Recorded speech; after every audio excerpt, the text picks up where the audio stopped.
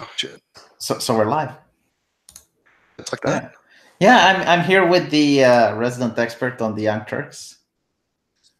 Yeah, it's um, it's a weird thing for me. I started off as a fan of theirs, very Me too. briefly. Yeah. I lost interest because it didn't compel me, but there was not that much content of that was on my side of the political aisle. So I was like, oh, cool. It's people on YouTube who agree with me politically. That was my naive understanding of them. And then I started watching them and I was like, oh shit, this is terrible. I don't want them representing me. I would argue that uh, their content changed over the year. I mean, they were always progressive, but uh, in the beginning, they were having a lot more fun and they were willing to contradict each other and have different opinions and different takes on subjects. And um, when the social justice activists would go too crazy, they would call them out. Um, they even had like uh, fun shows that I keep mentioning, like, can you guess what camel toes is this? And they would show like pictures of camel toes, and Cenk Uygur would try to guess. Wow. That does not sit well in today's climate. Do, do you want to see it? Like, the- are you aware of it? I, I yeah, I wouldn't put it past them. And I know that they they're all sort of, you know, low key misogynists, um, or at least frat bros. Like Cenk is definitely a frat bro type guy. Well, the question is, why did they change? Yeah, I remember they used to have guests on that didn't agree with them. Yeah, Such a simple Strong. concept. Yep, they had uh, Jared Taylor on. Jared Taylor completely annihilated uh, Cenk. Mm. Uh, they, they had Sam Harris. I mean, Sam Harris might have been the last guy that was on of any prominence where there was an argument. It didn't go well for Cenk, but it's a fundamental shift to change your strategy to say, I just just want people to kiss my ass. That's it. Yeah. I think it's the Qatarian money that made them change. It's uh, the moment they started doing their deals with Al Jazeera, that's when everything went downhill. And you can notice a, a big change in the, the way they did things. Well, I was well aware of this deal they had with AJ Plus, and it's shady as fuck, especially people who claim that they want money out of politics. But what about money in journalism? Surely that's just as corrupting an influence. But no, it's okay when they do it. But trust me, you know they, they're good people and they're they do things for the right reasons. But I don't think AJ Plus gives them that much money. They're scrambling for money. They're begging their uh, No, yeah, but back then, back then they weren't. Like back then, uh, they they were a small YouTube channel that started growing and growing, and then they had this deal with AJ Plus, and at the time, it was an increase in funding for them. Well, they were looking for another round of funding. They wanted to go huge, like they wanted to be the next CNN or you know a major player, and they never got that funding. Mm. You know, they they had a, a few angel investors and whatnot, but they have not come through. The numbers don't stack up because during the 2016 election, they got a bunch of views and they were skyrocketing. And oh my God, we're growing and growing. They really aren't growing fast. They've gained about a million subs in a couple years, and they have every advantage with the algorithm. They're best buds with the YouTube people. They get promoted everywhere, and they still are not growing that fast. And I think I, I think they're losing subs recently. well, losing them like like who? Mundane Matt. I mean, it's hard to lose subs. It takes effort for somebody to unsub from someone. But it it's worse than that. They're just a ghost town. I mean, they don't get a large percentage of views, which is what matters. Subs doesn't matter at all. Subs is fake. It's a fake number. It's an artificial number. By the way, you got to 100,000 subs, right? Yeah, Congratulations. thank you. Oh, no, I was congratulating Sargon for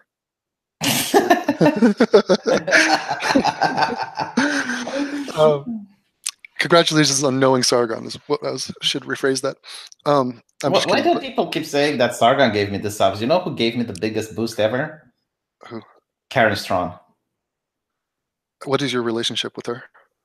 Uh, the same with you. I talk with her online, but she came on my stream, and basically her presence on my stream got a lot of people to look at me, and I got covered in some MRAs uh, websites and stuff like that because people started watching my channel, and uh, that's how I started growing. What is her appeal? Is she still pressing forward, or is she sort of a one-trick pony with the "I'm a female anti-feminist"? I mean, I, I don't know. I had her on and we talked about the hot topic of the month, um, whatever that was. Um, but I'm not really following her or knowing you know what, what she's doing. She, she's got like some based opinions on politics on politics and certain subjects, and that's what I appreciate. Mm. And she's conservative. Yeah, yeah, definitely. I think I saw her on a panel at uh, the Mythcon, and it was her versus another woman talking about feminism, and they agreed on 95% of things. They both seem to make a lot of sense. Yeah, I mean, uh, I've never heard her say anything that would make me go like, "Wow, that's crazy." Yeah, and that's fine. Um, you know, she's probably just a, a cool person. I have not checked out her stuff. Right now, I'm contemplating whether or not to have a discussion with Richard Spencer and all the. I'm wondering. Let me put throw that to you. Would you have a discussion with him? But I already had a discussion with him. What? Was, uh, yeah, like I was on the Andy Warski. It was me with Arch Warhammer uh, versus Richard Spencer and uh, JF Gariepy. Oh God! So you, you frame it as verse. Why do you? Why are you in a combative stance oh. with him? Well, it's the ideology, isn't it? Like he's uh, I, well, one of the things he was for that I disagreed is that he favors the European Union. He he likes the pan-European project. He just doesn't like the people leading it and the way it's going. But if you would get his people in charge of the EU, he thinks things will be better. He's treating the EU like the ring of power from Sauron. You know, it's like if only I would have it. yeah. Well, I think he's in favor of the white European Union specifically. And yeah, but wants to close all the borders and whatnot. Yeah, the, but the thing is, like, I don't think the people in Germany have Romania's best interest at heart, or the people in France give a shit about uh, Liechtenstein you know, I, am more in favor of people from that region governing themselves rather than having people from far away dictate what the people in that region should do.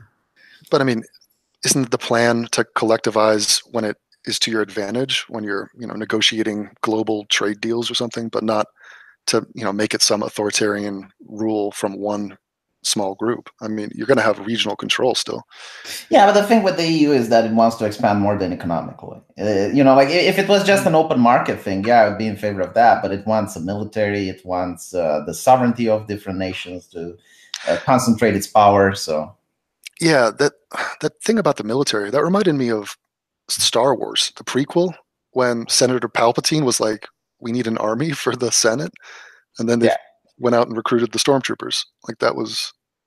I mean, look at Article 13 and 11 coming from the EU. Like that has nothing to do with the free market. You know, it's uh, uh, basically the people in EU they don't want to lose power. That's the thing they're most afraid of. So they want to silence everyone that's uh, talking against them. Um, and it's the the whole idea. Like the moment people have so much power, they want to maintain it, and uh, they they also have a plan for society, which is why they don't like populist uh, governments winning in Europe. Yeah, we have to be very wary of who has power because power has that you know tantalizing appeal. And even good people you go in and you're kind of a good person power just corrupts you. We know that's the trend. And so we have to be very cautious of who we put into that position. No i found Richard, the I, I, found the video with the turks with the whose camel coat is this? Um, okay. would you want to share it on the screen so people can uh, see it along with you? Because I, I can't do the sound properly how can I share my screen? Uh, well, first of all, make sure there's no porn because I know you got a lot of ladies uh, that are playing before your videos, and then you got like the share screen in the left um, corner. Why, why can't you do it? I don't know how to make the sound um, properly so that people can hear it. You sent me a link to this stream. Yes. But I, if I play it on my video, I don't know if people will be able to hear it properly. I, I know, try, but you didn't send me the camel toe video. You sent me a link. Oh, oh, oh. Okay. So uh, yeah. I guess the copy paste didn't work. All right. just give me a second. There I need camel. I will give you the camel. Did you? Ah, there's camel. Oh God, they're actually talking about it. They've yeah. been on. They've been on air this long, where they were doing a square format. Oh, yes. Yes. Yes. Yes. Okay. So, Mr. Angry for 20 Californian dollars, my two favorite YouTubers. we got a fan. That's very strange. I, I would like to have cross examination on that guy. what is his problem? so this is from uh, 2009, actually. Okay, I'm screen sharing. Can you see me? I mean, we got yes. Anna. God, what a rinky-dink set they had. Uh, they got the, the Washington Monument behind them. That's cheesy as fuck. Cenk is about 40 pounds less than he is now. Anna with a very phallic mic in front of her. but but it's interesting that I actually had like some American monument behind them, like representation Yeah. of American culture. Well, exactly, because they're so counterculture and they they want a revolution. Oh, we got to talk about Brown Fabio too, by the way. But um, so they they are about politics. They they talk about American politics. They're all about that, but they don't like America. Yeah. They only would like America if they're in charge of America. And so that's why they have it's very telling that their background that they've stuck with is the American flag unfurled or unraveled. And so it's just these strips of fabric. So it's like we've just tore America apart, man. It's I'm sure they contemplated putting the American flag upside down, but they thought, oh, that's associated with some like terrorist groups or, you know, we don't really want to do that, but let's rip the flag apart. All right, this video has almost a million views. Yep, This is some compelling content. That's that's an interesting analysis, by the way. Hmm. You you need to turn it up a little bit. Okay, I'm going to blast it as loud as possible. But really, the camel toe is visual. I mean, I guess that is one of the byproducts of yoga pants. You know, I don't. I'm not complaining. Do, do you think? Let me ask you, V. Hmm. Do you, do you think a woman is embarrassed by camel toe? Depends on the situation. Like if you're at an office and you're in an important business meeting, yeah, I think so. But, But the th- the thing is, all camel toe kind of looks the same, right? There's unless you have some huge gaping crevasse, it's not Hmm. like you could. How could you possibly ID someone's camel toe based just off the toe? Well, the uh, Uygur is trying to do. it. I, I think Yeah. Anna actually managed to guess it. So maybe Right, but there's the- a way. This isn't fair because you sh- you see the whole body and you see this obscured face. Oh, so you're saying that if it was just the camel toe, I guess, yeah, you're right. Yeah. What about showing nipples? So if you have an erect nipple as a woman, is that more embarrassing than a camel toe? I'm guessing yes. No, I'm guessing no. Well, the thing with these things is that men don't uh, get upset, but other women would get furious. So How do you obscure your moose knuckle when you're in public? Well, you you pull up your jeans a little bit, and you, you make sure that it goes like somewhere like like a belt sort of Hmm. thing. You know, like it goes through the the underwear and it goes uh, parallel to the leg. But have you ever worn sweatpants and it's sort of contouring the shape of your package? Um, not in a professional environment, no, but uh, it, it really depends. Like, uh, That's right. I forget you're a doctor. I thought you were just a professional D and D player. Um, yeah, if, if I'm playing D and D, then I don't care. Oh shit! How is that D and D group? Is it growing or? or Yeah, apparently Sargon invited someone else, uh, invited another YouTuber, Rags, and he's so autistic that if one person can't make it, he calls it off. Mhm. Okay, well, let's see who this chick is.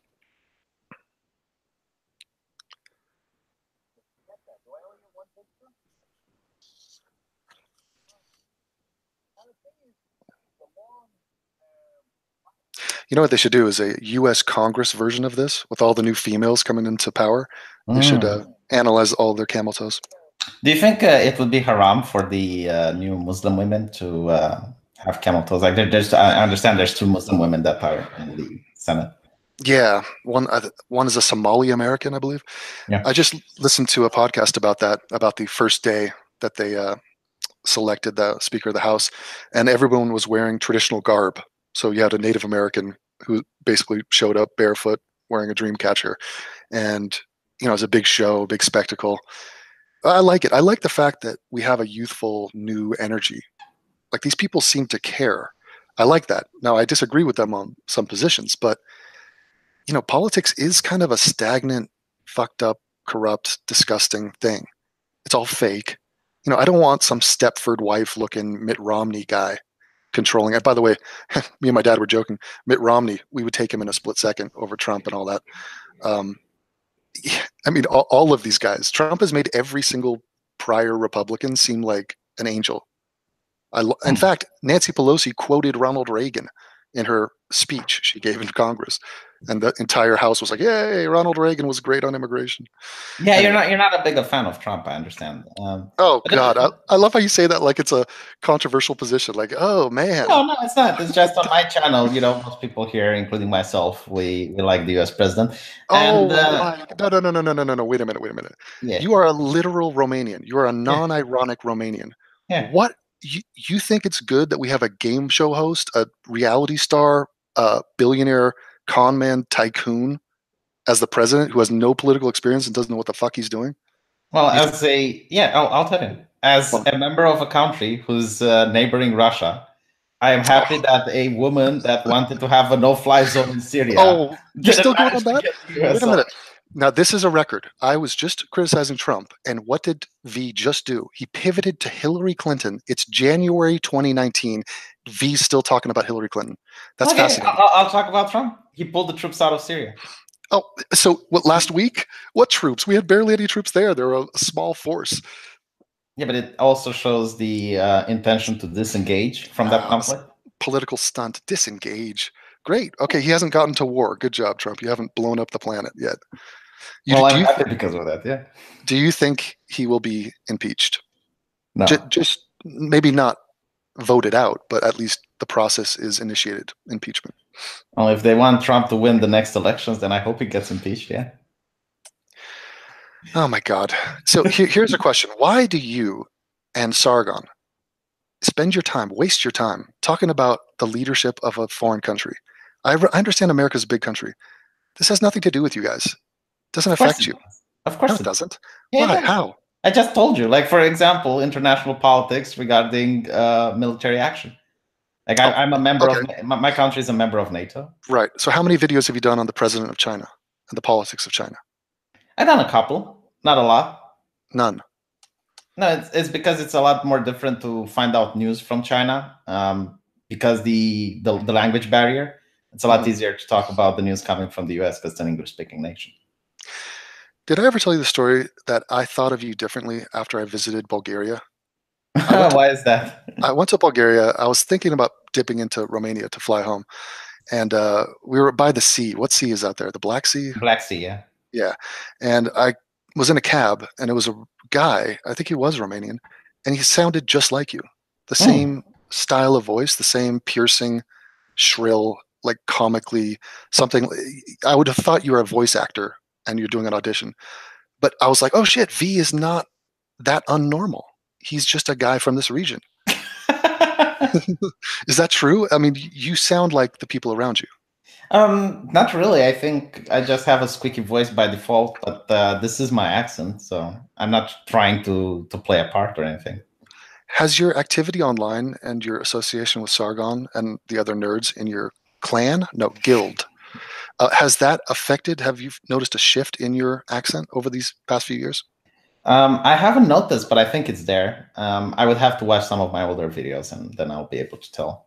Mhm. Mm, Because if, if there's a shift, it's uh, probably very slow, and when it's slow, you don't notice it. Sometimes I notice that I'll pick up words that I've heard, and it's sort of depressing to me when I think, "Oh Jesus, I said that because I heard that." It's so unoriginal. It's like, uh. All right, I'm I'm hitting play out by this. All right. Well, I, I don't think people can hear it, but it's fine. Like the the images are self speaking, even if it's at max. Okay.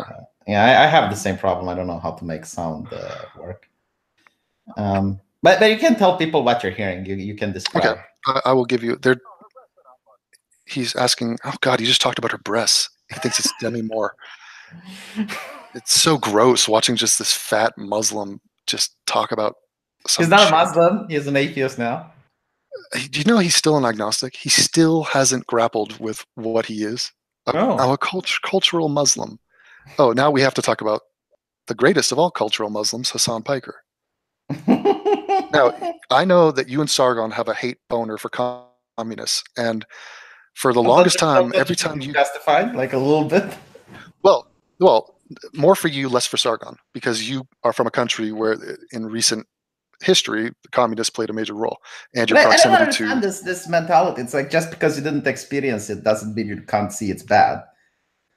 Well, Um, yeah, but I could see that the the rat infest, rat infestation of Madagascar is bad, but it doesn't matter to me. I mean, Yeah, you can you can still like look at it and say, all right, I wouldn't want a rat infestation here, and if there's ways to prevent it, then I, I want to do it. yes, I'm challenging the authenticity of this threat, especially if you're a tubby bitch in Swindon versus a guy in Romania. uh, There's a difference there, and yet communism seems to be your trigger word. You guys hate the communists, and I, every time you would say it, I'd be like, "What are you guys doing? This is like some ancient, you know, ideology that is not relevant anymore." But now I'm seeing it pop up more and more to the point where, and I think this is a major shift. Brown Fabio is just openly saying he's a communist.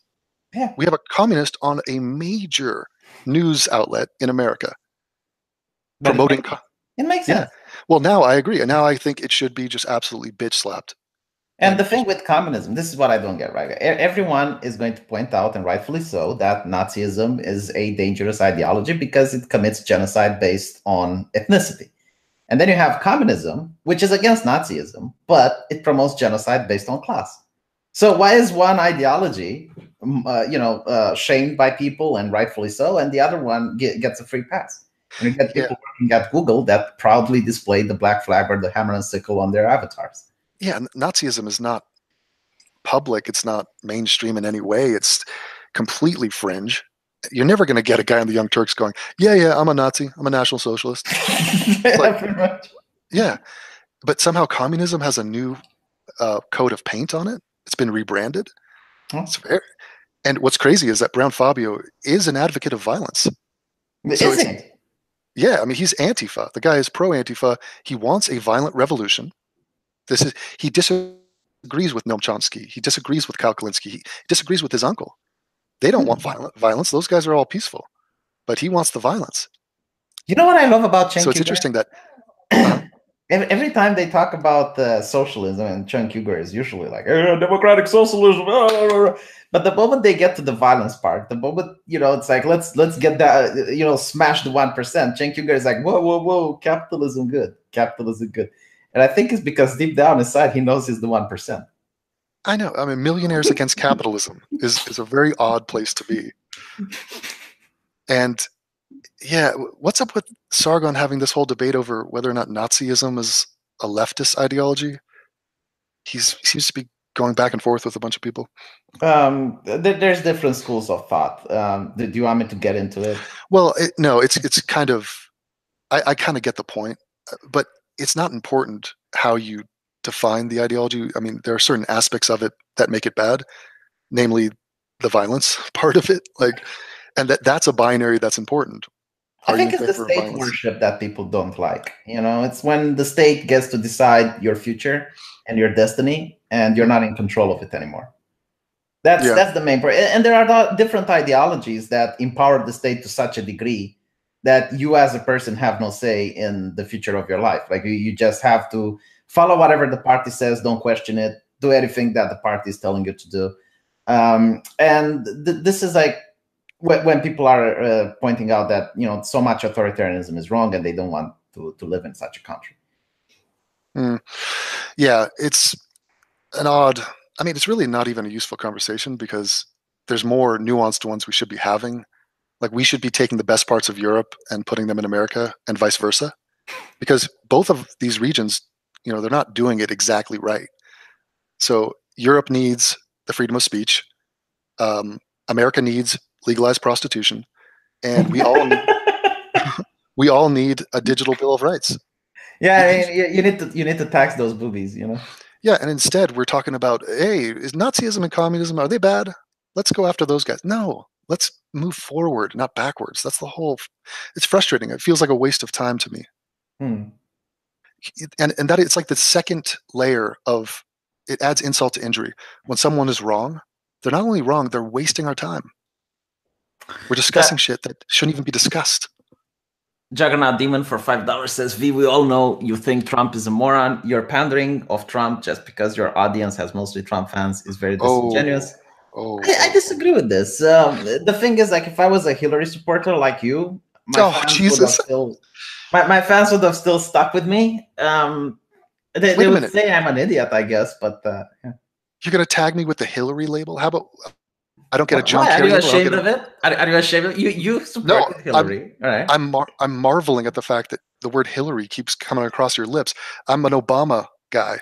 Why can't you call me an Obama guy? all right. So so Hillary and an Obama guy. Well, I'm Elizabeth Warren, Bernie Sanders. If any of these people run, I'm voting for them. I'm a Democrat. It's, it shouldn't be that shocking. I mean, it's not. I don't have a boner for Hillary Clinton. I, It I- is Bill shocking Clinton. in How a about, how about Bill? How about Bill? I voted for Bill. I like Bill. What's wrong with Bill? Rape culture, hashtag me too. You know, like what, what I don't get about this is that, and, and I find it very funny. One of the biggest talking points of the Democrats is the uh, identity politics. And your channel is entirely dedicated against identity politics. Yes. So isn't that like a little bit ironic? Like, isn't there a little bit of a controversy over there? Um, so are you telling me that my, my party and my candidates aren't perfect and that I might have a disagreement with one of them? What? I, I don't see you promoting the democratic agenda on your channel. No. Um, well, well, yes, I, I'm all in favor of it. I'm very actually interested in this new Green Deal that they're talking about. Hmm. Like, I think that's an aggressive uh, bit of legislation that's actually taking global warming seriously. And no, because I, I find you interesting. Like, don't get me wrong. It's not that what you're doing is is bad or that I disagree with it. It's just that it's very interesting for a person that supports the Democrats to just constantly make talking points against them. Yeah, um, well, yes, this is very easy to understand. They are my side of the aisle. I want them to be better. Yeah, so it makes sense. No, it makes sense. It's just yeah. that there's very few people like you that are doing what you're doing. Well, but think of what a waste of time it would be for me to try to improve the Republican Party. That's not my party. You know, I disagree with them on a million things. So my disagreements with the Democrats are far less, and mm. I still I still feel it's significant, but not in terms of policy as much. The policies I line up, you know. But here's my point: enough of this. Where are you on the left and right? Who cares? The issues are more important. Nobody cares where Devon Tracey lines up. Who cares? I'm one vote. What does it matter? You know well, what I'm saying? Like people would say you're a public influencer. Like maybe there's someone that watched your video and uh, you changed their sure. mind. Yeah a minor a minor public yeah to some degree that's true. And so we're almost like avatars you know youtubers can be symbolic and that's why the bigger ones i feel have more responsibility. Because people are so easily influenced. Holy god it is sad. It, i mean you know how advertising works so damn well? You see an ad for domino's pizza and like next thing you know you're ordering a domino's pizza. I mean this is what's happening all the time. We are we're just like lambs. We're Muppets. We're just controlled by whatever is in front of our face. Humans are not that sophisticated in the end. And to me, it's like, it depresses me because I don't know. I think, you know what it is? Here's why it depresses me because I don't think I'm any different. I think I can be easily influenced by what I'm seeing because yeah, we, I think it's uh, different degrees. Like the the whole thing with uh, me, for example, is that I grew up in an education that tried its best to teach me how to think, not mm. what to think. Yes, and I I think that's an incredible skill. Um, higher education is the art of teaching you how to educate yourself. And actually, yeah. the the first thing you do when you get to college is basically unlearn everything you thought you knew, because you learned a very surface, shallow understanding of, like, say, world history um, now you put in a sniping little snarky comment about Bill Clinton being a rapist.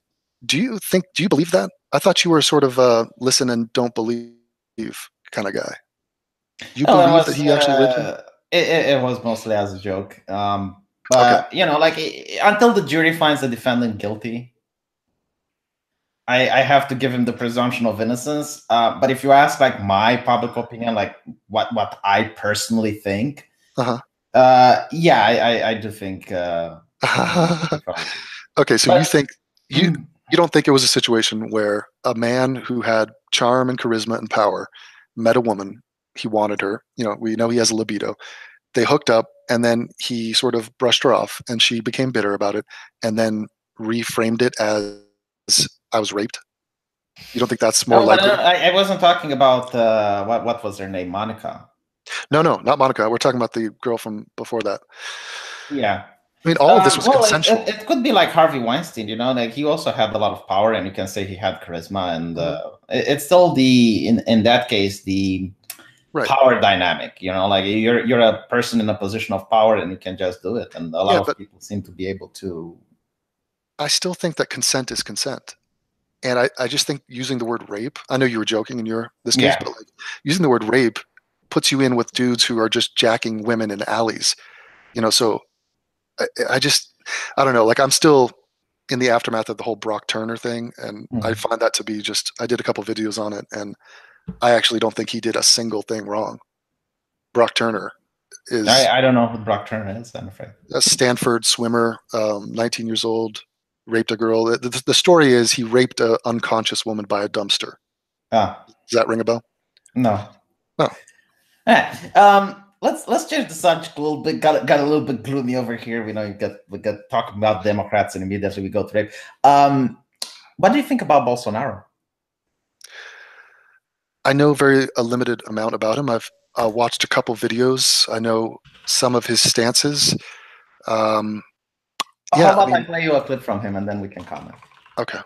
Let's see if I. It's it's a clip that I played on my channel. Uh, I believe three times now. I, I just find it really interesting because uh, it uh, upsets a lot of people, and um, I think uh, I think you'll find it very interesting. Let me see if I can do the sound properly. All right, I can. So I'll I'll share my screen in a bit. Okay. Okay. Can you see it? Yes. And can you hear it? Yep. All right. Em Let me Put it full screen now. retaguarda jurídica policial poder trabalhar, se matar alguém, foda-se.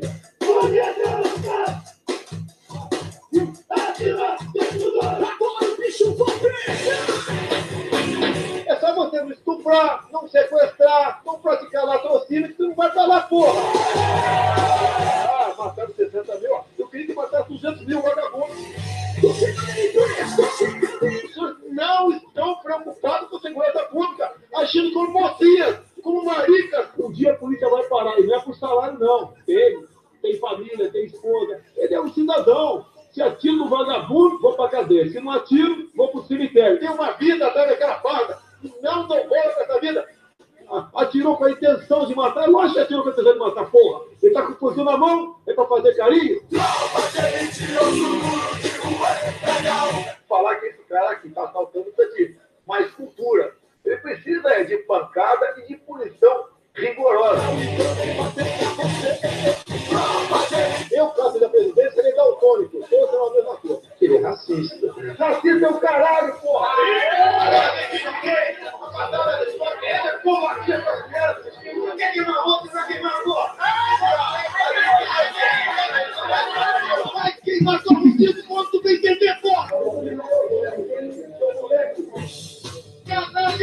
e buscando clientes na escola, que agora cagada mil vezes. Use correto, pode derrubar, mete o olho na palma quebrar.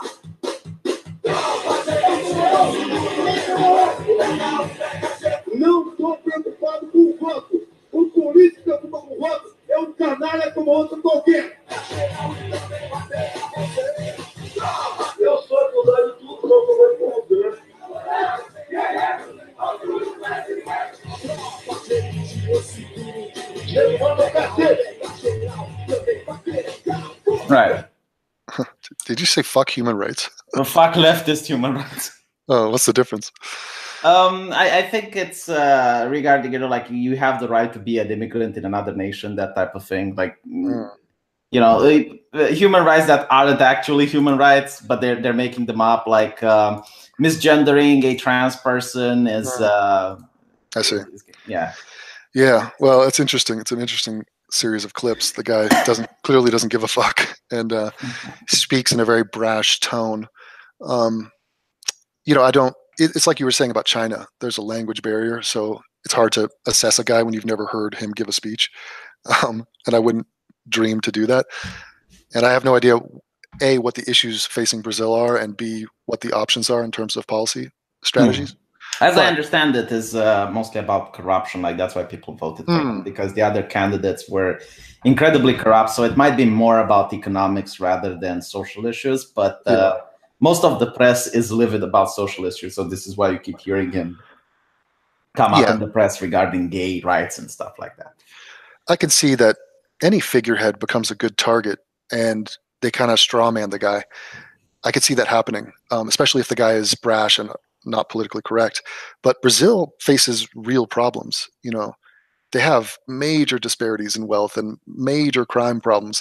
And so having a strong guy actually take action, some of the stuff he was talking about in terms of killing thugs and dealing with the criminal element, I could see that as being an attractive thing to people who are just sick of the shit You know, yeah, I mean, Brazil got 63,000 people killed last year alone.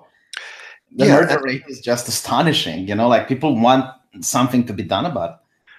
and, and the fact that it's all normalized. So whatever the situation is in the favelas or in the super poor regions is just accepted as that's the way it is in those places. Whereas, you know, maybe maybe it's time to go through and change strategy and actually deal with the problem. It's difficult to do though, man. I mean, talking about the politics of different countries, I remember I saw Vicente Fox give a speech once, the former president of Mexico, and he, he was proud of the fact that 70% or 65% of his country had electricity or access to television or something. He's like, Mm. he, he listed that as one of the accomplishments of his administration. And yeah, it's like, mean, it's it's interesting to see the previous administration how much electricity they had. yeah, why have you taken an interest in Brazilian politics and this guy Because it's in the news, it's just bombarding you in the news, and you you can't you know open any of the newspapers without seeing him. And I think that he's being strawman really hard. Um, Yeah. And I just wanted to look into it and see what's going on and talk with some Brazilians about it. it's funny because in Brazilian culture, he is a white guy, essentially. You know, he's a, a light skinned guy of European descent. And so that alone is enough to sort of make people enraged and assume the worst on anything he says. I mean, initially I was like, okay, so he's racist, but Brazil is not um, um, monolithic white nation, and the fact that he got elected means that uh, non-white people had to vote for him, so he can't be that bad. Well, when was the last time they had a non white president in Brazil? Is that a thing? yeah, you, you might have a point there. Um, the thing with Brazil is that the, the first time I heard about it is that when the FIFA Cup took place, Mhm. they built like this massive stadium, just this, this enormous uh, construction that costed a lot of money and it caused a lot of people to be enraged in the government because um, obviously, you know, your nation is poor and you're able to afford this monstrosity. Um, and, and to top it off, like Brazil lost really bad versus Germany in that uh, championship. That's that was yeah, that was definitely a milestone of yeah, that was an incredible game though. Germany played so well. Have you ever been down there? No, no, I, I only been to England. You should head over there, man. It's incredible. When I I was down sushi is nice, yeah. Yeah, oh god. It's like it's like the ground zero for major ass. When I was down there, though, I noticed that a lot of the talk show hosts, all the popular um, TV personalities, they tended to be lighter skinned, like white variant, uh, variant, sorry, of um, Brazilians. So there is their they have their own colorism vibe going on there. I don't think it's probably as crazy as it is in America, especially right now. But I think the inner look after 20 years of the internet, I think the internet plus race relations was a terrible idea. they, they actually have a reverse race relation than in America. Like there's this documentary that I saw, Mhm. and they're talking about this painting uh, that's made of an artist, and it has like this black grandmother with uh, a whiter son, and uh, uh, he's married with with another woman, and they're they're holding like a white baby. And the whole thing is that apparently there's a culture in Brazil that you need to marry a white guy in order to have white kids. So if you're a black woman, it's actually a social good to marry white people. I'll, I'll have to find that documentary again. Like it was just a bewildering way of thinking. That's just like what? Well, it, it does make you think. Looking at Brazil is a good way to reflect on what unites us and what divides us. Um, for example, down there, having a big ass is an asset. Uh, right. Uh, but they all enjoy and look, they seek that big ass, it, whether they're black or brown or white. Like when I was down there, you'd see advertisements. The mannequins, I used to take pictures of the mannequins, the biggest assed mannequins you've ever seen in your life, murals on the wall. And it so starkly contrasts what you see in Western, you know, white countries where the, the objective is to not be big. It's, you got to be as thin as possible. But so you got language, you got Portuguese, you got the love of big ass, you got these soccer, the love of soccer. This unites all of them. And the question is, is that enough to overcome our racial tribal instincts? That's the battle. Well, I think there's always going to be racial tribal instincts, and if there's not, there's going to be ethnical ones. Um, but you get like the default state where there's friction and then you get ideologies that try to remove those Mm. frictions and you get the ideologies that try to uh, accelerate those frictions and make them Mhm. worse Right. And we need to call those people out to say, are you a person who is trying to divide, trying to inflame, or are you trying to unite? Like, wh- where is your, what's your motivation? Because people get a pass too often. They divide, they at- intentionally divide the races, and they act like they're doing a good thing. yeah and even even if you would have like a racial monolith you still have ideologies like communism that divide people based on class like if you want to divide people there's so many ways you can do it you, you just find Mm. like some some ideology that works that fits and you push that Right. So it's really, it's not even about race, it's about otherizing, it's about scapegoating. Find a distinction. Yeah, I mean it's about gaining power most of all, and um, the the good, uh, you know, like the cool thing about communism and these uh, ideologies is that you can always blame the other, and you don't have to fix the problem. So, for example, when it was with Stalin, you get a famine in Russia. If you read um, the Harvest of Sorrow, you get to see that there's a famine in Russia. Well, he blames the counter-revolutionaries. Like there's always this other group that is responsible, and Mm. you know you can alleviate the wrath of the people to that other group rather than to the government. Yeah, I think it goes back to our competitive nature as a species. We enjoy competing against other people like us. And this was highlighted for me. Somebody asked me the other day, they said, Do you play against the computer in chess? Mhm. And I, s- and I said, No. A, the computer is fucking impossible to beat, but also B, there's no satisfaction to it. If I were to beat a computer, You know, there's want- actually these um, chess championships where like people build a computer to fight another com- against another computer. oh yeah, I've seen them. Do you like them? I love that. I've watched analysis of those matches. There's a new computer on the scene. Um, There's a new it's- computer. yeah, it's called like uh, Alpha Zero or no, I forget. But it take it took on the previous great chess engine, which is called Stockfish, and it kicks its ass. It just knows how to beat Stockfish, Hmm. and it's very strange because the computer thinks in a different way than a human. I mean, it's Yeah. recognizable. I've seen grandmasters playing online streaming, and they're playing a guy, and they suspect he's using an engine because they they don't recognize the way his strategies. They don't. It's it's too deep. It's too crazy, and so they think, okay, this guy's cheating. I mean, are you a chess man yourself? Uh, I, I'm not the chess man, but I know a little bit about chess. Like, for example, I know that once you reach Grandmaster, it becomes very boring because it's the same old strategies over and over. I don't think grandmasters would say that, but yeah, there is some degree of truth to that. Uh, you just have to take on better guys. And here's the other factor: the time.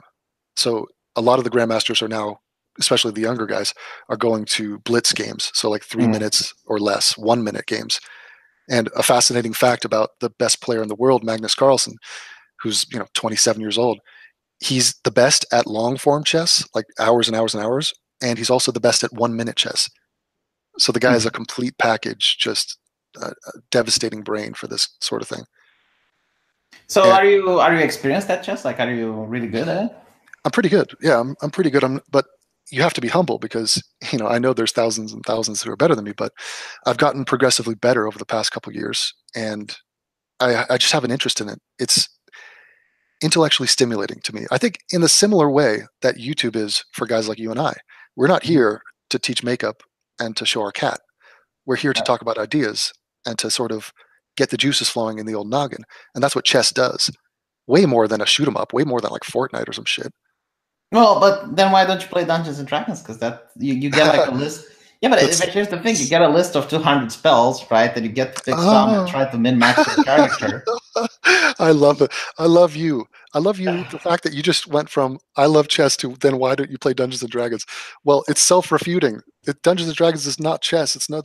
No, there's but, but you you made like you you like chess because it Mm. puts your mind at work, and I'm Mhm. explaining that Dungeons and Dragons also requires a lot of thought behind creating a character. No, it, it requires role playing and and you, you No. guys are doing a little sketch comedy thing. It's even, just even without the role play, right? Like for example, you can think you, you got like 30 feats that you need to take. And you have to decide which one of those would make your character more powerful and why, and try to to min max the game Oh, for you to get an advantage. I refuse to understand what you just said. Min max, I don't get that. But okay, the, the, the equivalent would be if I'm playing a game of chess and it's my turn to move, and I say, "Okay, let me roll the dice to see what move I do next." Like yeah, but that's, that's part of it, right? Like, how do you make the Mhm. things that you can control so that regardless of the outcome of the dice, you still get an advantage? right. There's a degree of skill to Dungeons and Dragons. I will grant you that. Or, or for example, a card game, right? Like if you play Magic the Gathering, you got over 2,000 cards, and you only need to make a deck of 40 cards, sorry, 60 cards out of those 2,000. And it Yeah, but- yeah, it needs to be a good deck so it can beat others with it. All I'm saying is that the skill involved in that game is eclipsed by the LARPing aspect of just dicking around with your friends. Also, the dungeon master, he just makes what, up whatever he wants. Uh, to be fair, I, I do agree that Sargon does make up whatever he wants. he does. Yeah, I, I never used to dungeon master, but I did play Dungeons and Dragons back in the day uh, in the 80s. So That you was- do know what min max is? I don't know. uh, Is that a Dungeons and Dragons term? No, it's um, a term used in uh, video games. It's when you when, when you pick things that are the best for your characters rather than things that are fun. Mm. Okay. Yeah, I'm proud to not know that term. I'm going to educate you, bitch. My So- channel, you're going to know everything there is to know. Uh, You're not a huge gamer guy, though. I am. I am. I, I started my channel as a gaming channel. Have you evolved? Are you playing the newest games? Yeah, I'm. I'm trying uh, to uh, you know keep up with the times and everything. Why Why aren't you on Twitch? I don't have tits. I I beg to differ. Oh. no, so, but so um, you would, would you give me a super chat if I flaunt my tits on Twitch? I, I do it for just cleavage. I don't need a full tit drop. Mm, Um, so like uh, an amazing atheist type of cleavage. I just had a back and forth with him on Twitter the other day. Um, I wonder what he's up to. He's, I think he's doing well actually. I think he's got a girlfriend and he's he's back in Louisiana. Um, I think his channel's doing relatively well, and I think he's got that podcast going with those hillbillies. Hmm. Have you thought about getting into podcasting ever? Uh, no, no, no, no. Here's the thing that I noticed about YouTube, and especially people in my uh, profession and and our actually like the political commentary sphere. Uh, everyone like wants to be big. It's like, oh, I want to have a million subs. I want to have two million subs. I want to have podcasts, and I want to have a website. The bigger you are, Mhm. the more attention you get. The more attention you get, Mm. the more likely is that the mainstream media writes an article and then YouTube takes you down. So There- I'm very yeah. happy where I am. You know, hundred thousand subs with with a little stream that I bore four hundred people watching. I am perfectly okay with it. I don't want more. I think that's a very zen of you, and there's wisdom in what you've said, and I think you base that primarily off your watching and witnessing of what has happened to Sargon in recent times. It's not it's not just Sargon. It's a lot. Like, did you see what happened to this guy, Mum Mumkey, Mumsy, Mum, Mum, Mumford and Sons. Mumkey, I think. Okay. Yeah. What happened? Um, he was making like funny YouTube videos. I Mhm. think it was like something about Elliot Rogers or something like that, and uh, he gets like three community strikes, and he's just gone. Yeah. Um, Well, yeah, depre- another example. the depressing thing is that we were used to YouTube doing this. It's the fact that every other group and company is now on board with the same policies. Patreon was just the, the last straw. Like I, it gets really difficult. Like right now, I'm happy with YouTube. I mean, I've got my channel restored. Mhm. They're not perfect, but at least they're trying to have some sort of appeal process. Talk to a human being. It's obviously a difficult task, but uh, you've never had your channel deleted, right? I did. Oh yeah. Yeah. Was it was restored? Yeah. Okay. Yeah, it's just it's a wrestling match, and what what sucks is I don't think they realize we don't want to violate their terms. Like we can argue about what the terms are. Yeah, I But- agree. It's like they act like we're intentionally violating the terms. Yeah, and that, right. that that's just it, it's a shitty move that they do there. Um, and and the Patreon thing has been a- alarming, and I, I couldn't believe what they did to Sargon. I assume that he's gotten his funding back and he's doing well. but Uh, yeah, I mean the, the thing with Patreon is that they um, didn't do things like this because they used to have competition. Like they had the Patreon.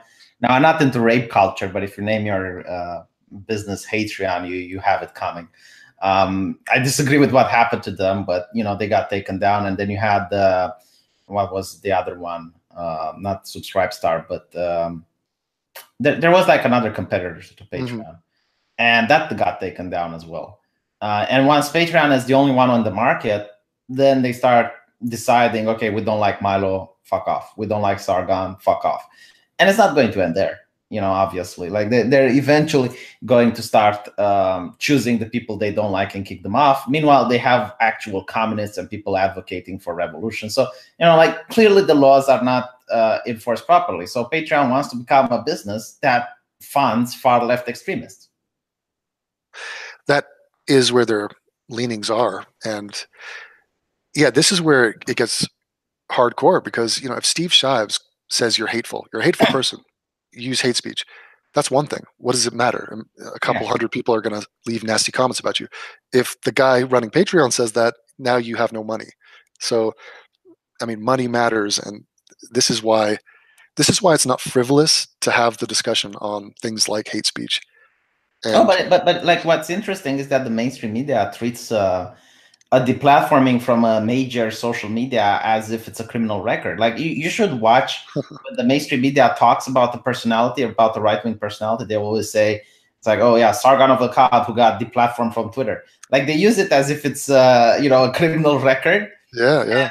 I, I can definitely think that businesses, for example, can uh, look into your social media and say, oh, why don't you have a Facebook account? You know, oh, I got banned from Facebook. Like that might influence someone's uh, future. And people oh. were laughing when I said this. And then there was a case about a university, and a student apparently was a top A student, but he didn't get uh, accepted in the university because he followed Alex Jones on Twitter. And it's like, come on, that's insane. he could have been hate following him. Yeah. yeah. That is highly alarming. God.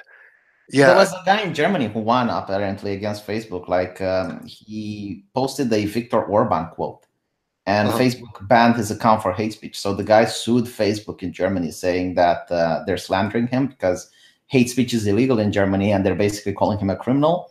Right. Uh, and they have to prove that it's hate speech. So Facebook actually reinstated his account. Huh. Wow.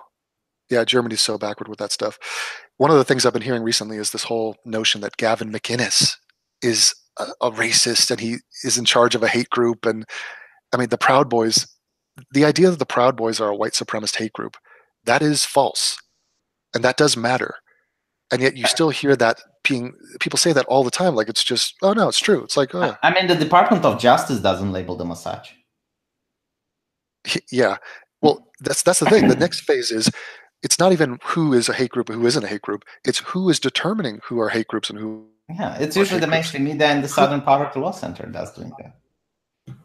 Right, and so how discredited are those groups, or you know, how can we, how can we wake people up? How can you shake them and say, look, think independently for a second. Don't just take these people's at their word. They're lying. This is wrong. I mean, with the Proud Boys, from what I can tell, and, and I'm not very informed on this subject, but you can make the argument that they're like street thugs and you know they, they try to go and, and have a fight or whatnot but that doesn't make them white supremacists. Like you can be a street thug without being a, a white supremacist. Yes with a key difference of their violence is defensive. Apparently there was like a recording that came out which shows that there is one conflict that they initiated. There's one that was recently put out, I don't think they. I think maybe the video starts where it might appear that they initiated, but in general, obviously, you might have bad apples here and there, but mm. they are not going with the purpose of violence. I mean, half these guys bring shields. Remember those guys at Charlottesville that brought shields? Yeah. Shields, that's not an offensive weapon. You're not chucking them like you're Captain America. You're trying to defend against Antifa. I mean, I, I'm willing to, you know, just so sometimes it's good to seed ground and give the argument to the other person. It's like even if they were the ones initiating the violence, right? Because then you, you get into technicality. But even if they were the ones initiating the violence, that doesn't make them white supremacists. That's you, true. You, you can yeah. still have like a violent group, like a violent biker gang or something like that, that's uh, into street thuggery, and they just enjoy getting violent, but that doesn't make them ideologically inclined to, to be white supremacists. You know, people muddy the waters when it comes to language and they do it intentionally. Take the word terrorism. Remember, we had this uh, scourge of Muslim acts of terror for the past, you know, decades, and so the word terrorism is you know that's around a lot. And so, what did the people on the far left try to do? They tried to say other stuff is terrorism. You know, uh, Dylann Roof, arguably what he did was terrorism, but there's a bunch of people they just throw in and try to make it. Uh, you know, America, we're the biggest terrorists. America, you know, because we bombed a country once. So they try to eradicate the meaning of the word. Yeah, I mean, terrorism is violence in order to achieve political ends. Yeah, Like, But- that's I mean, it, it's take you have to like whack a mole every time people use it when it's not appropriate. Yeah. and it, it gets just tiring because they don't care. It's not like people will uh, find they'll be like, "Look, I heard, I saw that video you did, and uh, you were right. You were right. I was wrong on that. I apologize. I changed my stance. Let me make a public apology." No, they don't need to do that. Their fans don't care. They don't care if they're right or wrong. They just want to be feel important and feel like they're a good person. hmm I agree with that. So I got the 200 pen. I don't know what pen is, but it's red, so it's probably right. I'm a Brazilian. We were tired of the corrupt leftist government with all the socialist policies that impoverished the poor even more to be able to control elections. They forgot Brazil is a majority Catholic and conservative country, and we did have two presidents of gypsy descent. Oh, you Gypsy descent. He didn't just Gypsy send that to, to make you feel good about yourself. But I'm not a gypsy. You know, like a lot of people think I am. I'm actually white. Yeah, but you're close enough. Uh, you're in the same gene pool. No, You're telling me your great aunt is not a gypsy? Yes. I'm telling you, my white people got a couple of slaves from Italy, right? And then they freed them, I don't know, like 400 years ago, I think. And that's you- this population in Romania. Would you be willing to take a 23andMe? Yes. Do you think there's any Ashkenazi Jew in you? No. African descent? Probably that 1%, but I don't think I can uh, use an Elizabeth Taylor on it and call myself African. Uh huh. Do you take any stock? Are you prideful at all about your racial heritage? No. Don't give a shit. Yeah. What are you most proud of? My accomplishments, the fact that I finished two universities and that I started a YouTube channel. Also, that one that one time you rolled that 20-sided dice and it came out with a big number, that was pretty good. Yeah, I wanted to say that the fact that I managed to get into platinum in League of Legends last season, that was good. Where does getting 100,000 subs rank in your life accomplishments? I'm not putting it quite high up, um, but I'm not going to say it's not an accomplishment because it was hard work, and you know, it's like building a castle of cards. You you finish building it, and then you look at it, and it's like, huh, that's nice. Yeah. I What is-. What is the direction of your channel this year? Do you, have you recalibrated? Do you want to try new avenues? I don't want to keep growing, to be honest. Like I, I don't want to reach uh, really high numbers. The the only thing is that I don't want to fall. Like I don't want to lose subscribers. Um, So if I, if I remain where I am now, I'm very happy. you have enemies. Uh, You have the Sargon backlash enemies, and who are these guys? Like on the on the right. So you have enemies to the right of you. I assume they're enemies on the far left of you. But are you concerned about these people at all, or are you just sort of like whatever? That's just the nature of the beast. Every if you talk online, you have enemies basically. Yeah, I reached the conclusion that if you talk online, you're, you're going to get people that just want to screw with you. Uh-huh. Um, hopefully, I learned how to manage the situation, and uh, it's, it's going to be better than how I used to manage it. Nice. But you got you got enemies as well. Like you you managed to get a video that showed the ass of Jesus Nazareth, the, the ass of Jesus Christ. yeah. And because of that, you got a strike. Like that doesn't happen because of an algorithm. Like someone who hates you know. that video, and they know that it wasn't your intention to corrupt kids with the ass of Jesus Christ. So, Yeah. how how do you think you you got to that? Like, who do you think? Uh, yeah, it's people who don't like me. I mean, it's the people who dislike my videos before they have started. Like I Mm. go, I have premieres. I, I premiere a video, and I have dislikes just sitting there waiting for me. Uh, I have old school enemies. I have like religious people. Every once in a while, uh, I'll just chuckle, uh, snuckle, because a religious person would be like, "Yeah, atheism is not unstoppable. What the fuck? Fuck you. You're going to hell." That's like some old you school. Change your name then, like uh, Yeah. from atheism is unstoppable. Like, get the new YouTube handle or something. Uh, if I if I could do it in reverse, yeah, I'd probably have a different name. That, But you, that you can still do it now. Like, you can change your name to Devon Tracey or something. yeah, it's probably a bad move. Um, just keyword wise, I'm I'm stuck. I'm stuck with it. Why But- brand awareness or what? Yeah, just merch awareness. Hmm. Um, I, Devon Tracey, it says nothing. It's, Well, why not Bald Man Speaks? Like that would be a great. Uh, I would say bald. bald. Bald what? Bald Man Speaks. Oh, bald man speaks. Um, it has a potential. I'll put. I'll workshop it. We'll see what we got. No, I mean- T-shirts with Bald Man Speaks. Then I'll buy one. I actually am going to talk more about atheism a little bit because Hmm. that was a very interesting topic and it's still very prevalent. That your super chat just talked about how Brazil is completely Catholic, and it is. It's insane. Like you see these UFC fighters after every time they win a fight, they're like, "Praise Jesus," you know, like they have tattoos of fucking. You know, as, as an atheist, I start to appreciate religion. Oh God, you're one of these Jordan Peterson Yeah. types. Eh. No, not Jordan Peterson type. Like I still don't believe anything about it. What do you Um, appreciate? Yeah, it's uh, the fact that it instills some values in society that uh, can't be challenged that easily, and it's a lot more difficult for postmodernists to try to um, Yeah, but the corrupt corrupt people with their ideology. Yeah, but the religion doesn't instill the values. It's the people who interpret the religion arbitrarily. They're the Yeah. ones that insert the values. No, you're right. But it's still better than the values that. Like here, here's the thing, right? If I get like a, a full blown Marxist in charge of the government, and when I say Marxist, I mean like a progressive who believes that everyone should be equal, who believes that every company should have uh, 50-50 representation. Uh, he believes that uh, transgender ideology should be taught to five-year-olds. You know, he believes in hate speech laws and all that. I don't share any of his worldviews. I, I disagree with him a hundred percent.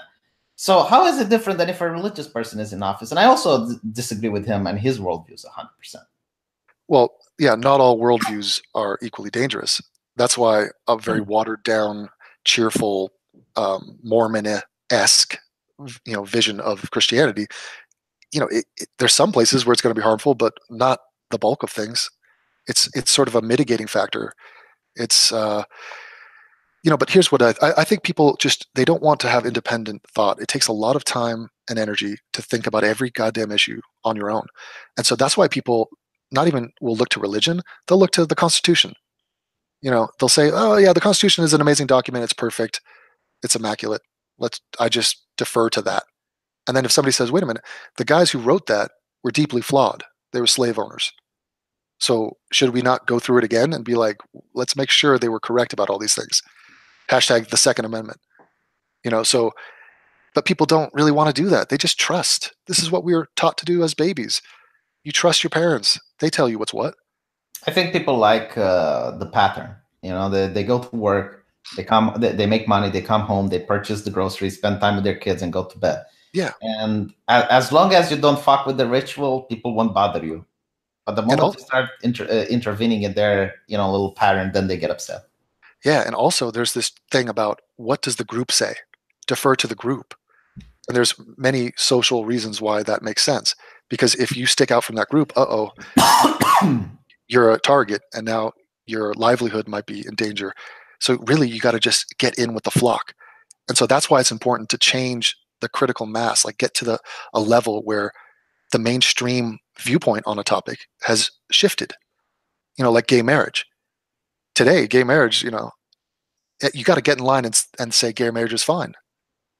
Nah, seen but- that. Well, the thing with gay marriage is that uh, I I don't care either way. I I um it's it's not what like, like in Romania in my countrymen we care more about economics, right? Because the wealth of people makes everyone better, including the gays.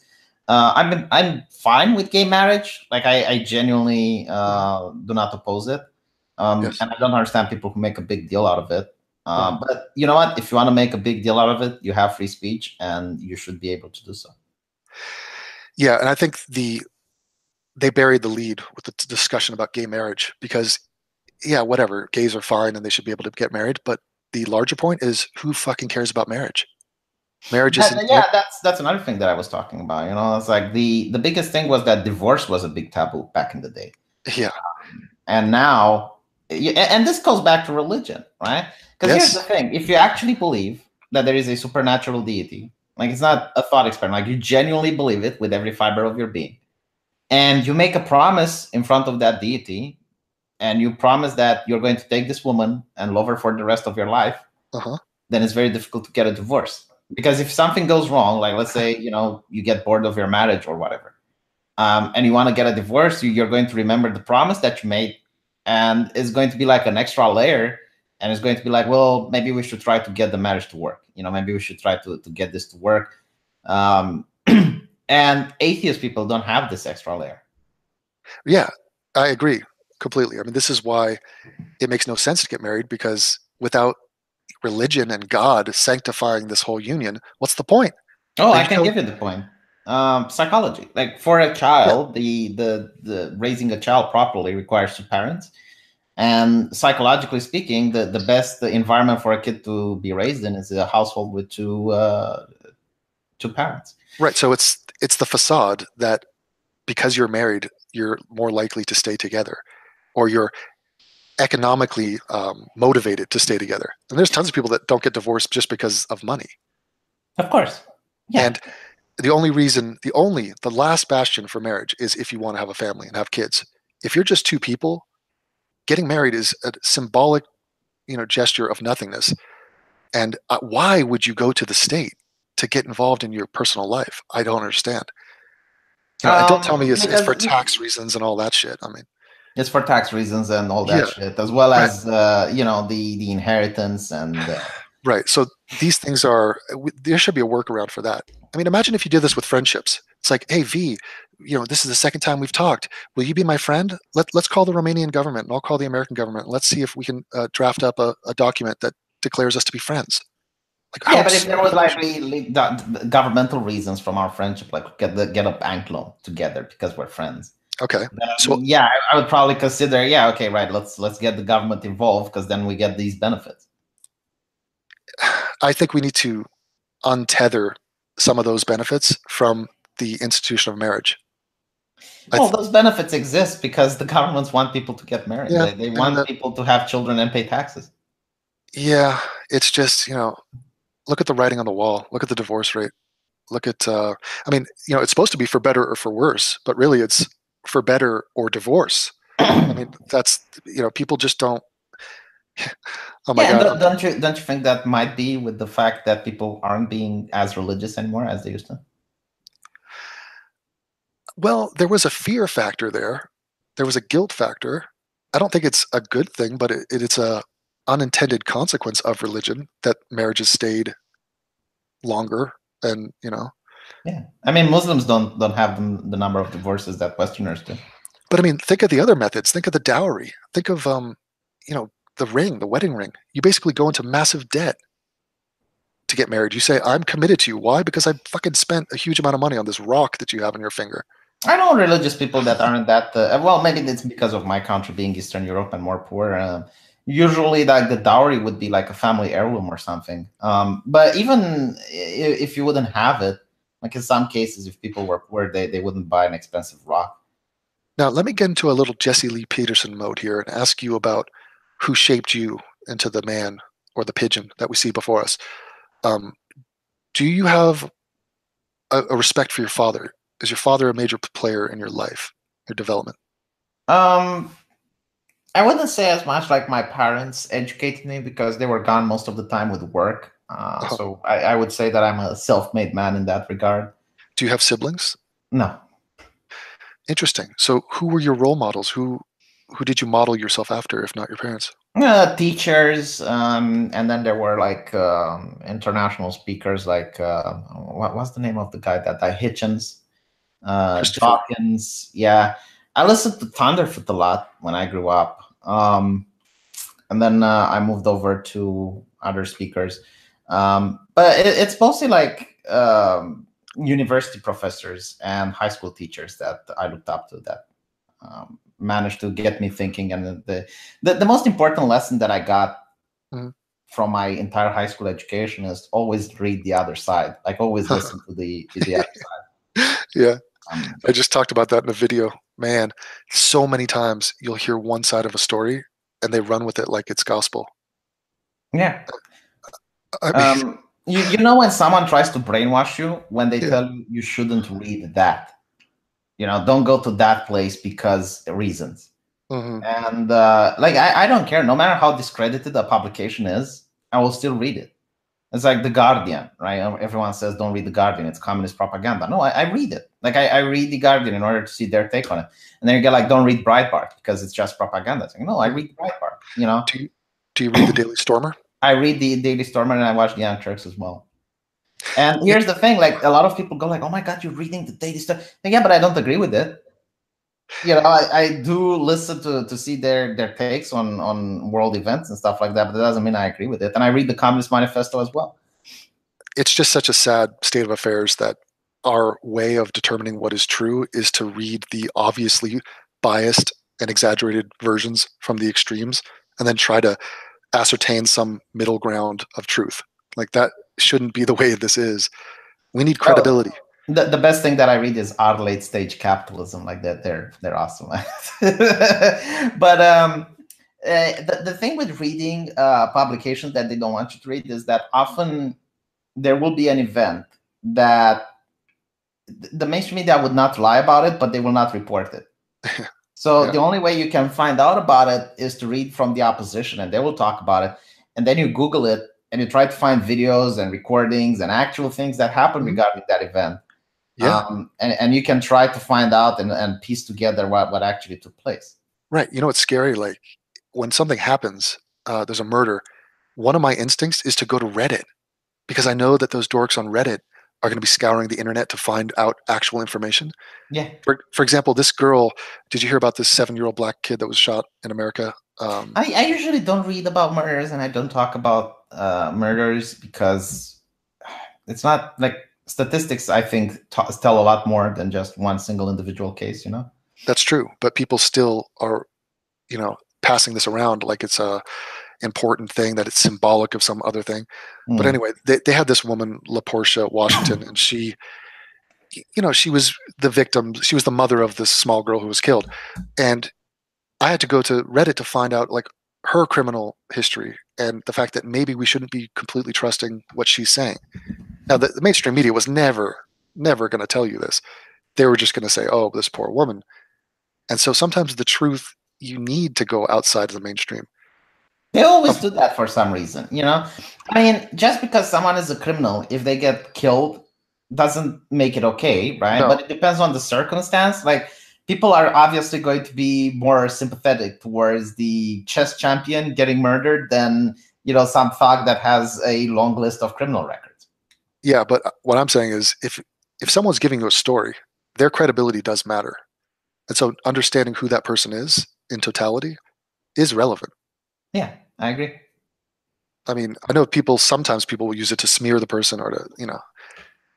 I mean, shit. V, there's too many bad human characteristics out there and it's all amplified and it's all on steroids because of the internet. So we are way over our head. We're trying to put out fires, but we are our own worst enemy these are all things none of this is new it's just it's just everywhere it's just everybody is making the same mistakes that humans are prone to make you know confirmation bias this oh let me give you let me give you a recent example there's uh, this case where um, you know the the white collar crime thing it's like oh white people called the police on black people this new yeah. this new moral panic and it ended up with this woman who was suffering from autism, and she wasn't even white. I think she was Latino. She called the police on this black person, and the mainstream media wrote about it. And then she started getting harassed. Um, and obviously, everyone was thinking that it's because of racism, but turns out no, like she's an autist, and people that are suffering from her case of autism suffer from also high levels of paranoia. So mm-hmm she didn't call the black person because she was racist. She called the police on the black person because she was paranoid. She thought that's uh, a dangerous person. So she ended up like being harassed by this mob of people, and it, it was just the most disgusting thing ever because the newspapers didn't take their time to actually interview the person, ask them like, "Why did you call the police?" They assumed it's racism. They publish her name, they publish her face. People doxed her, found out where she lives, and, and started harassing her at her own house. So again, mm. this this this patient that's suffering from uh, mental illness, which was uh, high levels of paranoia, having like a group of individuals outside her house demanding righteous vengeance. Yeah, that's sickening. Totally yeah. unjustified. And it happens so often. I mean, there's a couple cases where someone's out of line, but most of them are highly exaggerated. because it's easier today to form a lynch mob. Way easier. Back when uh, Gaston did it with Beauty and the Beast, he, he had to go door to door. He had to like go be like, "Hey, Yeah, you but busy?" he had evidence. He he had the mirror and he was showing to people. Yeah, no, uh, no, he had a good case, but like you still had to physically get a group of people together. You had to. Like, Do you have a torch? I don't have a torch. Go get your pitchfork, and then you had to mm-hmm. march up the hill to the castle. It's a fucking waste.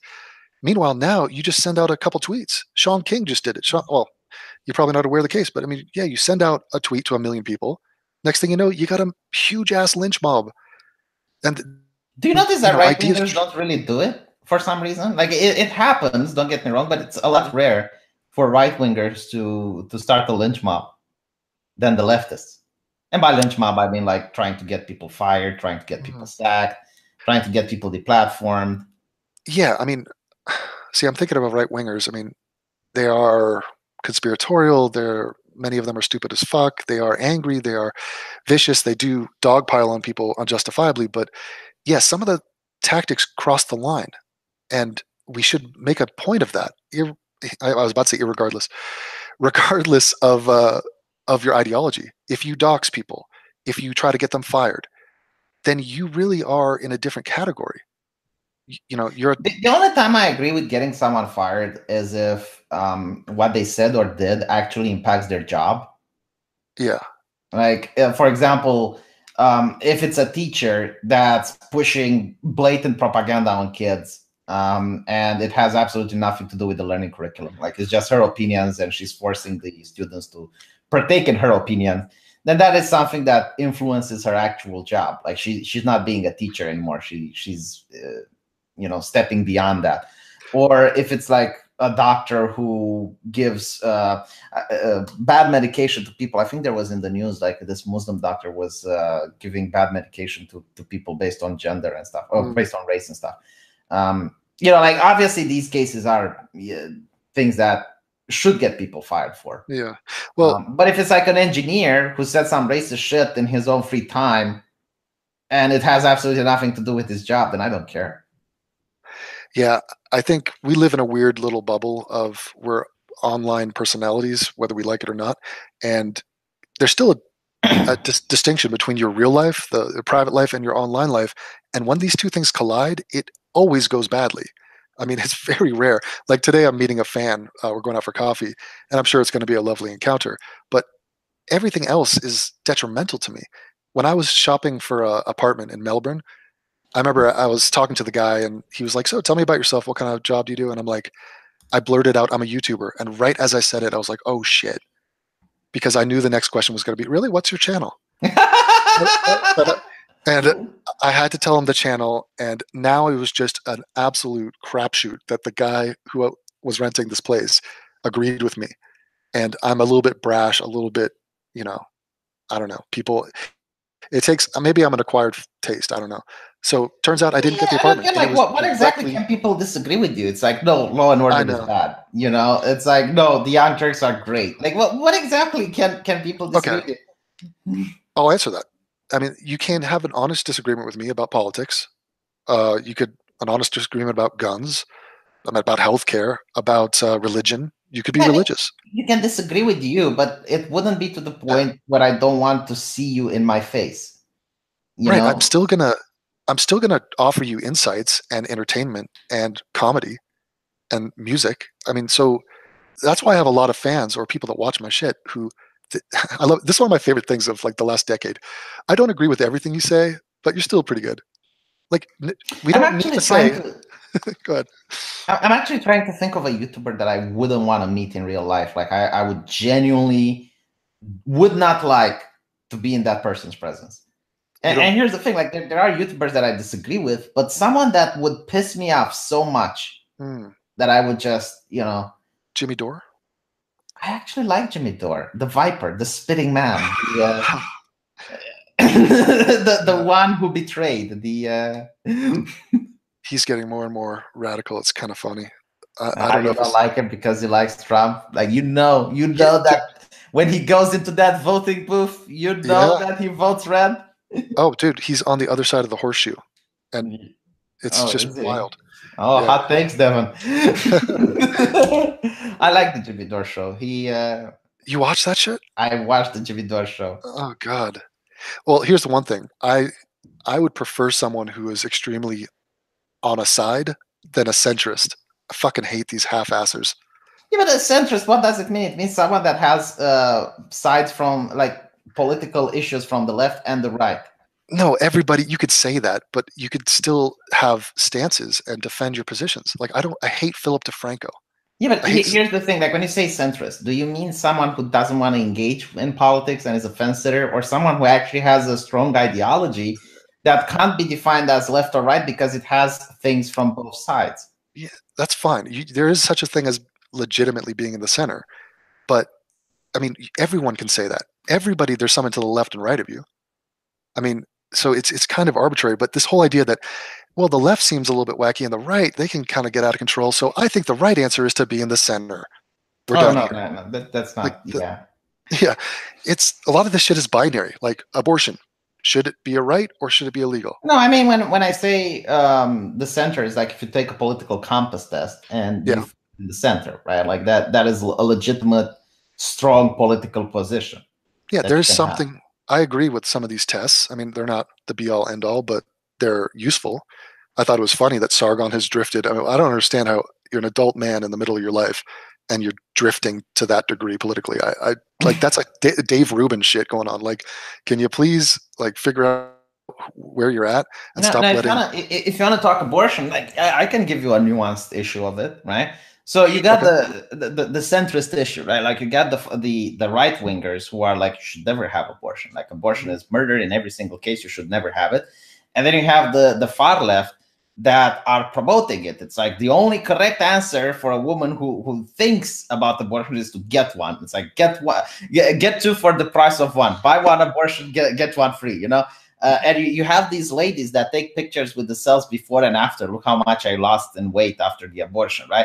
Now, I do think that abortion should be legal because my country had it illegalized and it ended up in um, quite a lot of tragedy. I, I spoke about it at length.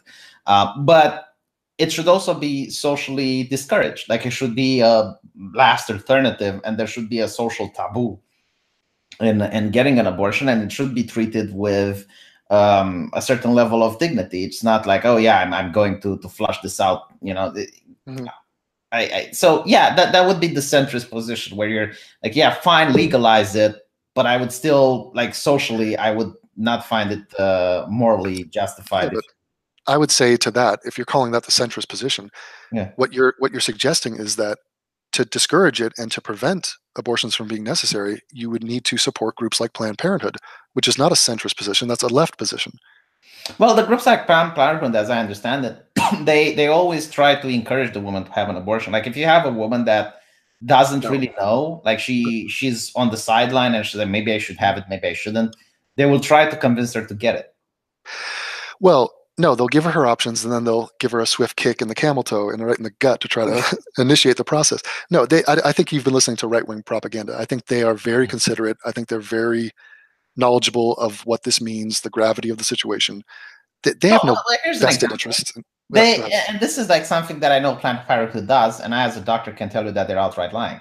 So when they're saying that there is absolutely no downsides to an abortion, they're Mhm. not presenting the full truth because yes, abortion is a very safe procedure, and you're not going to have any negative side effects. But they don't mention the other part unless you want to have a second child, because I- if you ha- if you have an abortion, uh, the medical instrument uh, can scratch the uterus and create a scar over there. So the next time you want to have a child, you can have the egg implant in that scar, and it's going to cause a uterus tear, which is a very dangerous medical condition, and it can lead to the death of the patient within hours. And usually, the solution is to remove the uterus altogether, so it's going to sterilize that patient. And they don't tell this to the public. I They. I humbly reject the premise of what you just said. Why? I I'm highly skeptical that people that work at these clinics do not inform everyone who's considering an abortion of all the medical risks involved in the abortion. That to me would seem like an unbelievable violation, completely irresponsible. And I would also venture to say you have never gone in to have that conversation, so you don't know what you're talking about. that, that is true, but uh, the thing is, like, for me, it's very weird as a European to understand that there is a concept as an abortion clinic. It's like well, here in Europe, but, you, you go to the medical hospital, which yes. has, you know, all, all different practices, and you go to the Obgyn department and you, you get the abortion well, there so, so Again, I don't understand like a clinic that specializes in abortions. It's, well, it's because well, but it is a necessity though that there is a need for that. But also, you've already bought into the right wing framing of it. They don't call themselves abortion clinics. No, that's I know, but obviously, it's like a clinic that specializes. Yeah, but that's yeah, but okay. I mean, but that's like calling a hospital a euthanasia center. Well, oh, they well, do yeah, do that. Okay, so, do so that. if if you have a clinic that specializes in one thing and okay. that is like abortions. Yes. Like okay calling it an abortion clinic is not very disingenuous is it? No like but they, they special no but they they fill the need. There it's a supply and demand thing but they also offer birth control they offer other options they offer counseling. I mean they're mm. doing other things. It's not just a drive-through abortion place. At least planned parenthood isn't. Okay but all these places have been defunded and they're sort of drying up. And it's crazy that that's a, such a major issue like even in ireland but why not just have like a normal hospital that throughout well, other procedures also offers abortion? Like well now yeah you're, del- you're delving into a whole greater topic which is what is wrong with our healthcare and why don't we do it more like you guys do it? Ah so it's an amerikansky thing. Okay. Mm. well I, I think that there could be some um, shake up in how we do things you know, it's uh, I think it costs a, a, great amount of money to have a kid in America. Like you're out of pocket a lot. I mean, with, here in my country, the way we fixed the AIDS problem, and we fixed it so good that we actually had people from the UK and people from America coming to find out how we fixed it, mm-hmm. is to promote condoms. Like throughout school, like they constantly talked about condoms, this, condoms, that. And here's the thing: like when when I go to a kiosk, like a nonstop kiosk in any like neighborhood you want. They will sell condoms. I went to Britain. The first time that I wanted when I when I got off the plane was to buy a condom. I to see Sargon. yeah. uh, I couldn't find a condom. Like they they yeah. don't sell that. They're, they're not easily available. They're very, mm. and, and I assume that might be the same problem in America. Probably to a less, much less greater extent. I mean, there are condoms in every 7-Eleven in America. So it's weird. America is weird because you know I, I, mentioned our stance on prostitution is like the most backward fucking thing you could possibly imagine. Um, but I'm in Denver right now, and marijuana is legal. Every everyone is smoking all the time. You can't mm. go from one place to another without smelling weed in the air. and so it's just strange. Like we're all about freedom, but oh, prostitution? No, no, no, no. Fuck that. It's just that. I would vote for someone who wanted to make a change on that which politician has the balls? We need uh, Ocasio Cortez, Cortez to get up there and say, "We need sex workers today," and she needs to. I mean, this is something that people in Europe don't understand. Like it, it's. I, I, don't understand why the Democrats don't put that on their table. Like. Yeah, female like, empowerment. Yeah, like if you manage to legalize gay marriage in a country that was as Christian as America, I think you can get prostitution legalized and get some tax money out of it. You can fund yeah. the world. Exactly. Frame this, it like that. Yeah, this is how Trump can get the Republicans. Oh, dude, it, that's going to be his October surprise in 2020. He's going to say, "We're going to f- build the wall, or not the wall. Do, do it for something like we're going to cure cancer with the tax revenue we get from mm-hmm. legalized prostitution."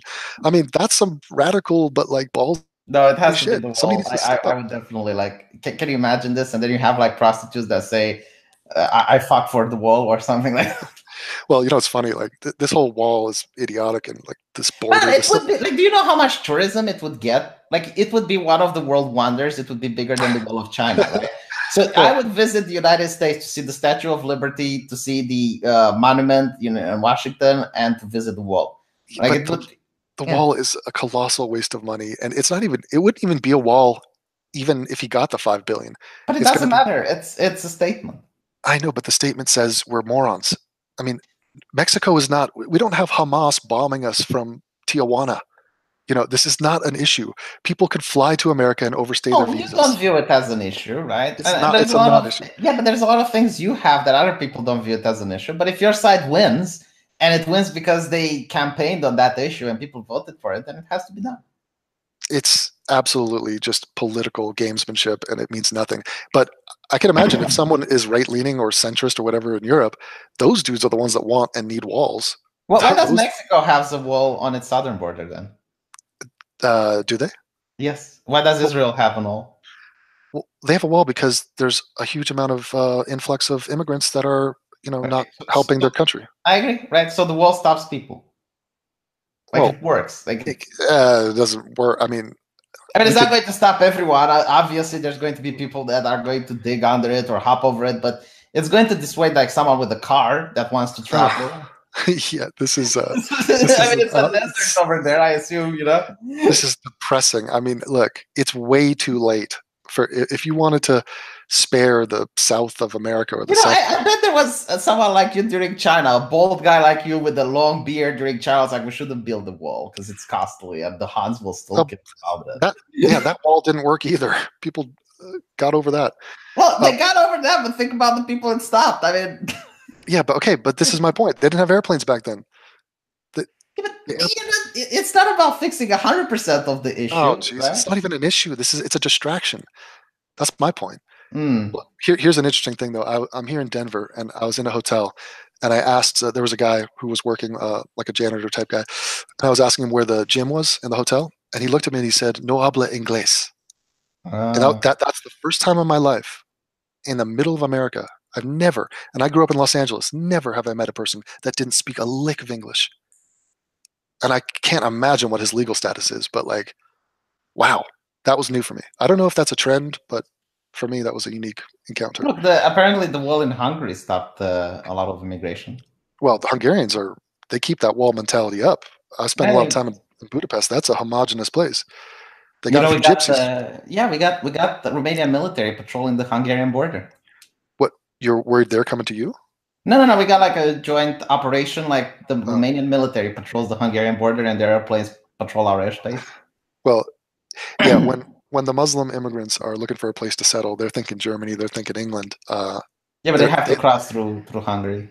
but they know that Hungary is not going to welcome them. And there's another couple like that, like the Czech Republic, I think, also.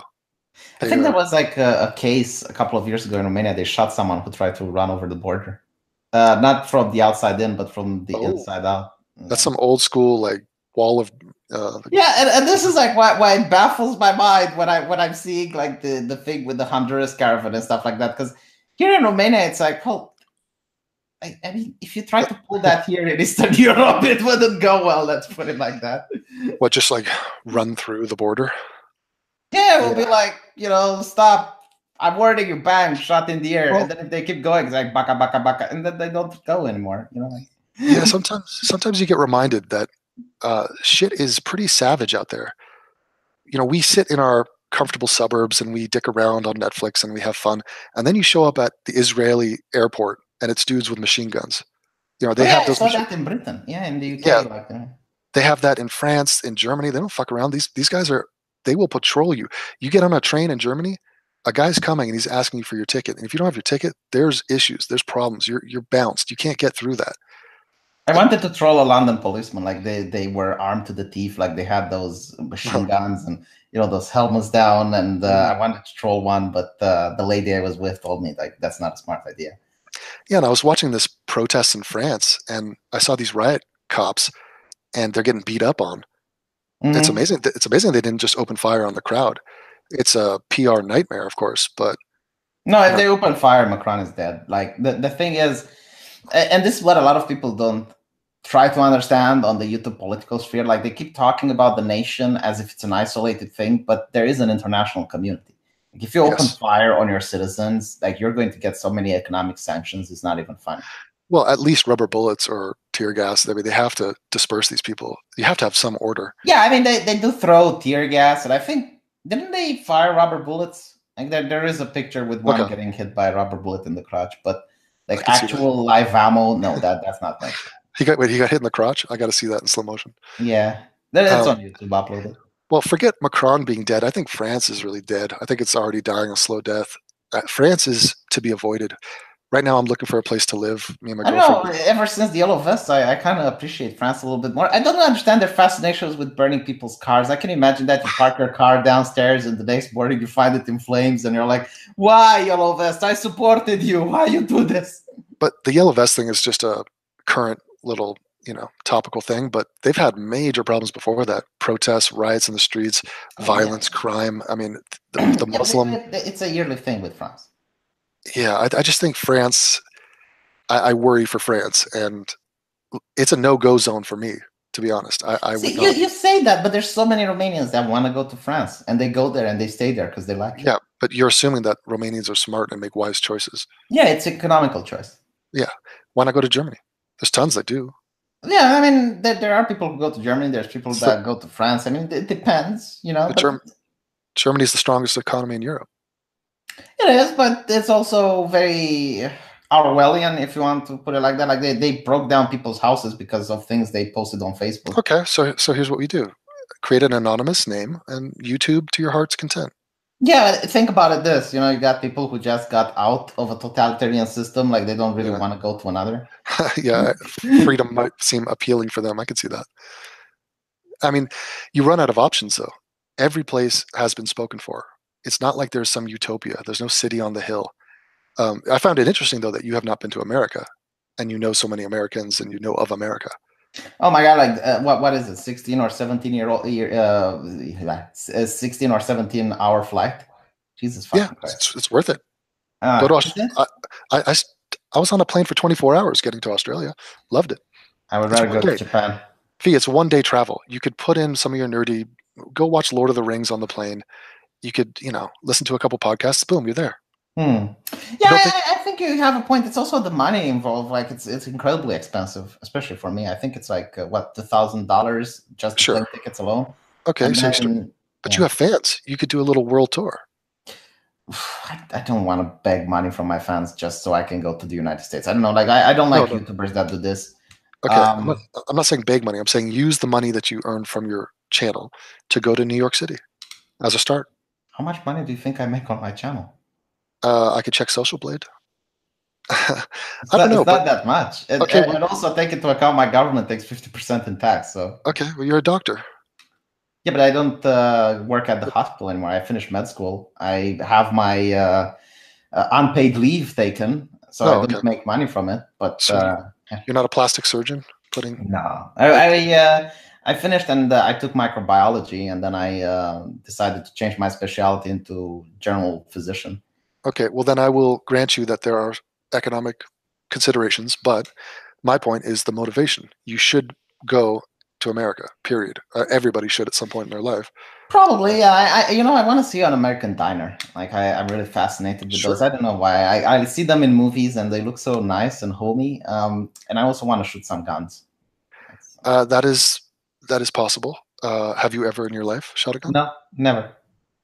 And uh, I heard they're very loud, so I want to experience that. Uh, actually, when you get off the plane, we hand you a gun. The way they hand out uh, flower leis in Hawaii, you just get one. That's what the fun. actors want me to believe. Yeah. Like, Um, if I go to a gun show, apparently I can take any guns that I want. Um, I'm going to do a video on Hasan Piker, Brown Fabio, who uh, he was on record on the Young Turks, and he said, you know, we need to be talking more about like uh, socialism and arming the proletariat. He said! Oh my fucking god! What did Cenk say? What, what did Cenk say? He okay, no. that? Cenk and Anna and some other person on the panel, they all laughed at him. They're like, uh, Hasan, what are you talking about? Arming the proletariat? They're, they couldn't believe that he just let that slip out. I, I genuinely think Hasan is not very smart and he's very easily influenced by the people. oh yeah, I can only imagine what's what videos he's watching, because obviously n- nobody gets the expression arming the proletariat. If you're a douche bro from rutgers you're not that's not a phrase that enters your mind he watched someone and they said that and now he says that Yeah, if I was Anna, it's like uh, Hasan. Look, uh, we are on the race side of communism here, not the class side of communism. Like we are the bourgeoisie, you idiot. no, no, he- he'd come back with yeah communism you're using historical versions of communism that wasn't the ideal form of it like i, I have a very nuanced stance between stalinism and leninism and marxism do, do you know why they call it cultural Marxism? By the way, I, I think it's a very poor um, name, but it's Uh huh. Let's let me teach me. Okay, so the and I'm saying this because I know some of our fans are here. Um, the purpose of communism, the purpose of socialism, is to achieve the communist utopia, which is something that never happened in human society. It's a classless, uh, genderless, uh, everyone is equal type of society with no money, no currency, no nothing, right? Right. Um, everyone goes to work, they work as hard as they can, and then uh, everyone goes into the store where they can take whatever they want, but they only take what they need. So this is like the communist utopia. And in order to achieve it, you have to go through socialism, which is the economic Marxism. Um, so you, you know what that is. Now that failed. And now you have the uh, Frankfurt School of Thought that say, well, instead of using economics, we can actually use culture. And that's what cultural Marxism is. The end goal is still communism of this genderless, classless society but they don't use the economic the economy in order to get there they're trying to use uh, the idea of culture Mm. So Yeah, that's why pretty- they call it cultural marxism It's pretty warped, and it's got a terrible track record. I've, in fact, the only time I've heard of it even remotely working is in Israel. Th- does it work i mean Well, it, it's, it's I, I don't know if israel has like the no border activists Like, Well, no, uh, what was it? Uh, no borders, no nations, no deportation. well, I mean, I guess Israel as a whole is sort of a capitalistic, socialistic type place, but within the little communes, within these little, maybe maybe it's a size thing. So if you have a- a small group of people, you have a better chance. But there's still no guarantee that this is the optimal way to run things, and we should be very wary, obviously. But what I love is that the people who promote this are, tend to be young, and they tend to have no idea of history. No, that they're actually very old. They're university professors, and they indoctrinate the young into pushing this ideology. Oh well, those guys need to be called out even more. yeah. if, if they're older, they should know better. But if they're sticking to their guns on this issue, then that's shameful. Uh, if you look at the um, what was it Kavanaugh situation, um, you would see you know those leftists banging at the door as if they were mindless zombies, um, and there were like footage of like very old people teaching them what to chant, and there was like this this old guy like pumping his fist in the air and say. We will go in front of her cabinet and we will demand blah blah blah, and everyone was just chanting after him, like indoctrinated people was just surreal to see. Hmm. And it's interesting that the, the, the old people didn't get uh, arrested, right? Because there were a lot of people arrested that day, uh, but none of the the, the, the protest organizers, the the actual uh, intelligentsia, got arrested. Oh my God, life is such a shit show, isn't it? Let's be honest. There's just so many stupid people out there. It's a never-ending well of entertainment, Mm. Uh, but it can leak into really uh, negative impacts on society. So it's not all shits and giggles. Uh, sometimes I think that what you or I do on YouTube is just almost has no value whatsoever. But then there are moments where things do actually matter, and it only takes one or two people to like uh, cross the line and get violent. Say, you know, we we're dealing with people who have that potential. So young human beings are dangerous. Given the wrong set of ideas, they can easily spurg out and go down a path. Um, I, I agree, but uh, on on the upside, we live in the most safe um, time when humanity has ever been, and in our nations at least. so it's all perspective. Yeah. Yes. yeah. I mean, but like, I'm glad that I'm living now and not during World War II, for example. Oh yeah. No. Uh, let me bust with a super chat really fast. Uh, 279 Californians from Critters Baggin, uh, AIU King of Ad Hominem. I don't follow anymore. Um, Sec 20, Mithriade, God King Devon, long live equality, Eurovision, and MLP. So it seems that the uh, fan base is a little bit split. He's a friend of mine. Who, Critters Baggin? Uh, Mithridate. Oh, I see. Yeah, that Yeah. makes sense.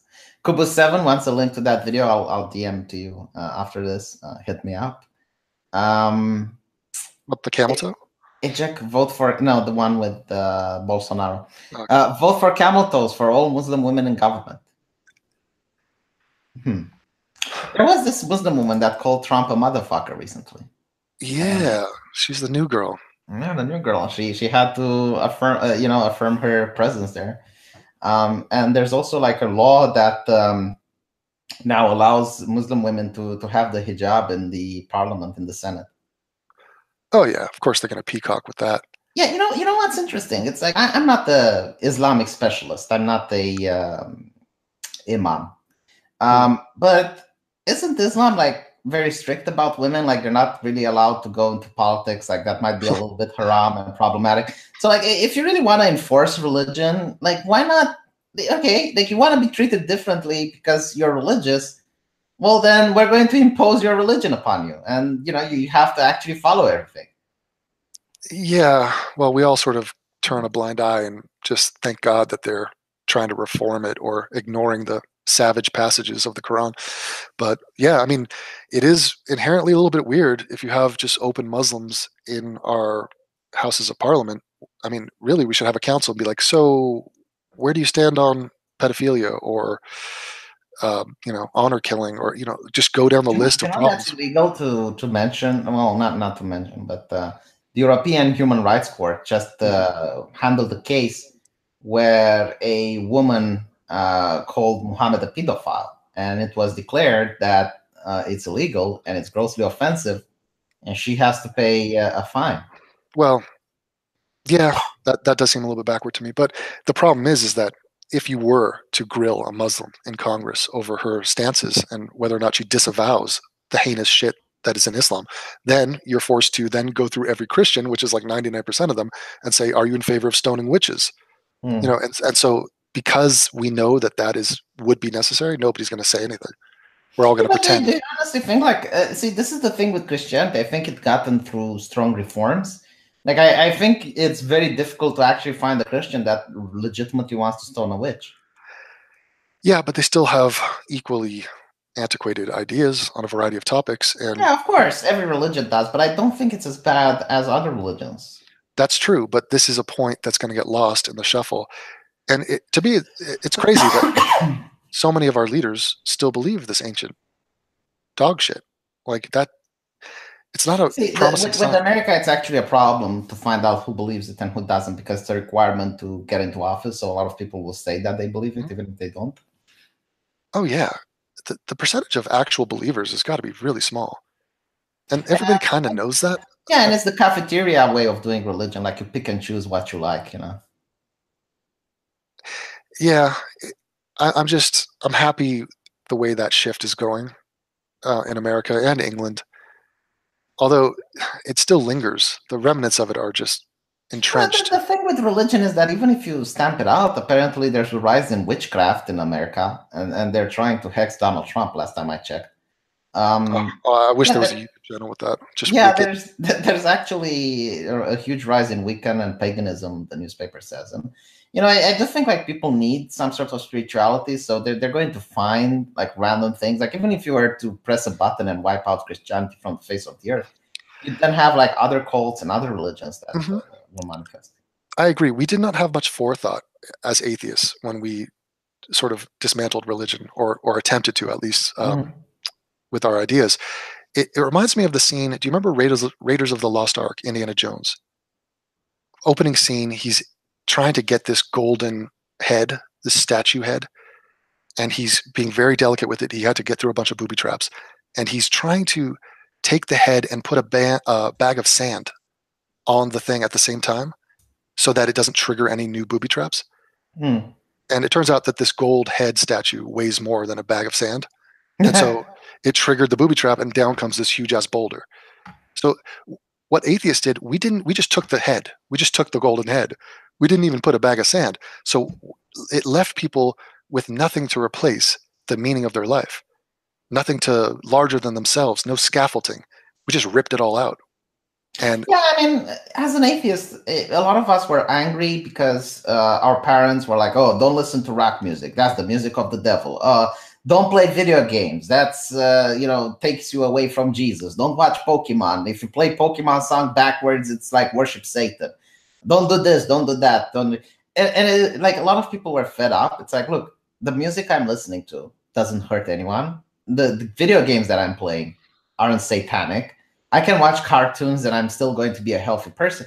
And that caused a disdain for religion, not because of religion itself, but because of the moral busybody of authoritarian people that just wanted to micromanage your life and they were doing it poorly like you knew that that particular decision doesn't make any sense and um, Mhm. I, I Yeah. think that's why there were a lot of atheists yeah, people they like control. I could see that, but I think it's left us with a problem of what do we invest our faith in? What do we invest our uh, yeah i mean a lot of people invested in socialism like socialism Yeah. you know i say it, it's like a religion but then you have the ceo of apple who says that if we don't censor hate speech on our platform it's a sin yeah, And it's like, how, how can you say something like that and not have me point out that you are a cult? You're you're basically having a religion now. the, the thing is there's no obvious answer because some people will try to dive into nationalism and they but then that doesn't really make sense because we're so connected now and the a, a globalism the good variant not the right wing sort of fear mongering variant is normal natural and a good thing. And so what else do we do? We, we dive into our race. Now you have this racial identity groups popping up and this is the thing they're going to invest in but that doesn't sorry Yeah, no, you're right. You're, eh, like people will find different because when I had the discussion with Millennial Woes, there was a very interesting guy in the comment section saying that uh, I anger my ancestors. I, I don't know how exactly he formulated, but was like he he became the speaker for my ancestors and said that um, you know my ancestors are angry with me, even though he never met my ancestors, and I don't think he. Uh, but but it's like you know, it's not as bad as religion, I guess, because with religion, um, people do bad things because they think they have the backing of God behind them.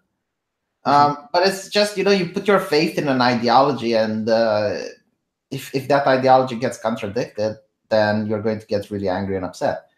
Um, and and it's it's not nationalism; it's just pretty much anything like socialism and uh, cultural, uh, you know, like this neo progressivism. yeah What do they call it? like intersectionality and feminism and whatnot? Right. Social justice. People like being a part of that because it's just something bigger than them. And this is what we seek. Everybody needs that shelter. They need the comfort of being with it, just a, a large group of people, but also so, something that has lofty goals. You know, there's they want to have a sense of importance. This is why a you know a young Muslim guy will become a jihadist because oh I'm super important now. Yeah, but think Unlock- about this, right? Think about this.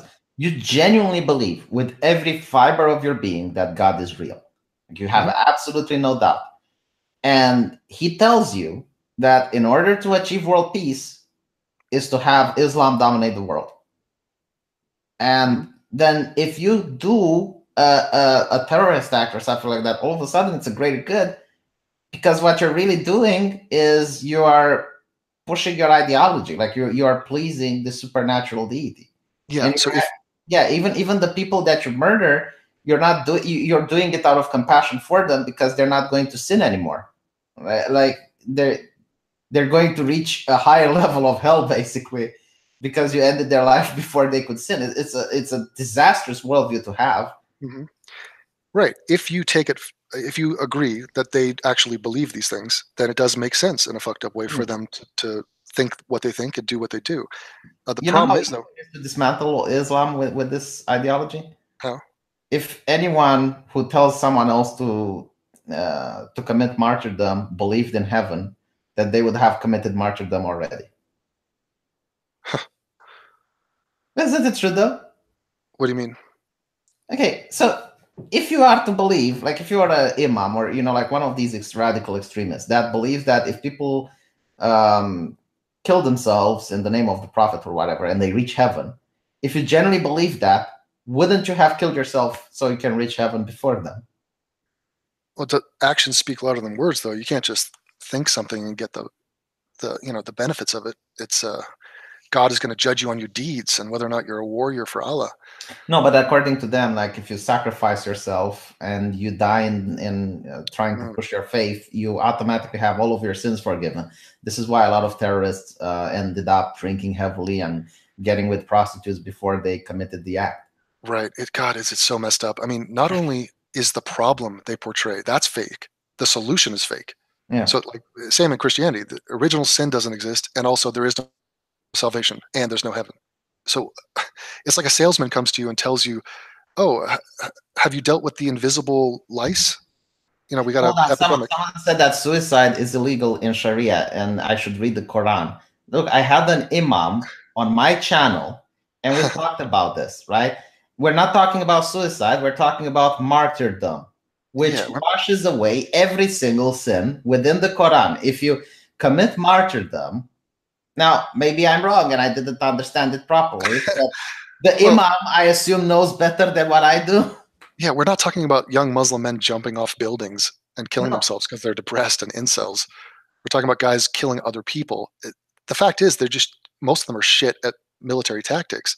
So their only way to kill people is to strap bombs to themselves. I mean, that's it's just they flame out, and they half of them or more than half of them wants to flame out. They're sick of life. They hate it. You think it's a coincidence that the most the country that downloads the most porn is Pakistan? Is it?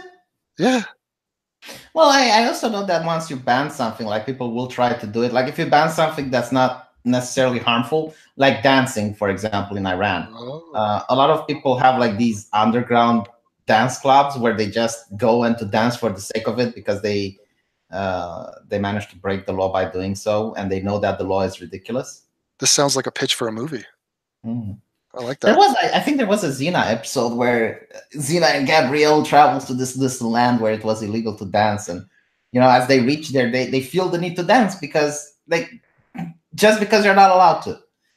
you No. know. Not one part of my brain was expecting you to say, "I think there was a Xena episode." Well, there was a Xena episode. have you watched? Have you watched all of them?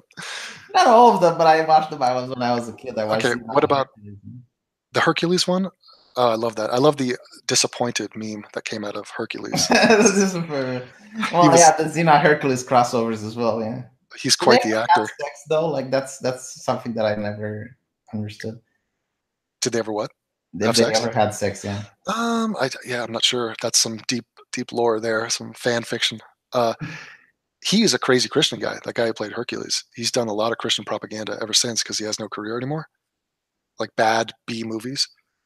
yeah, I, I don't know what happened with him. Like he starred in um that sci-fi, like Hercules in space, people would call it.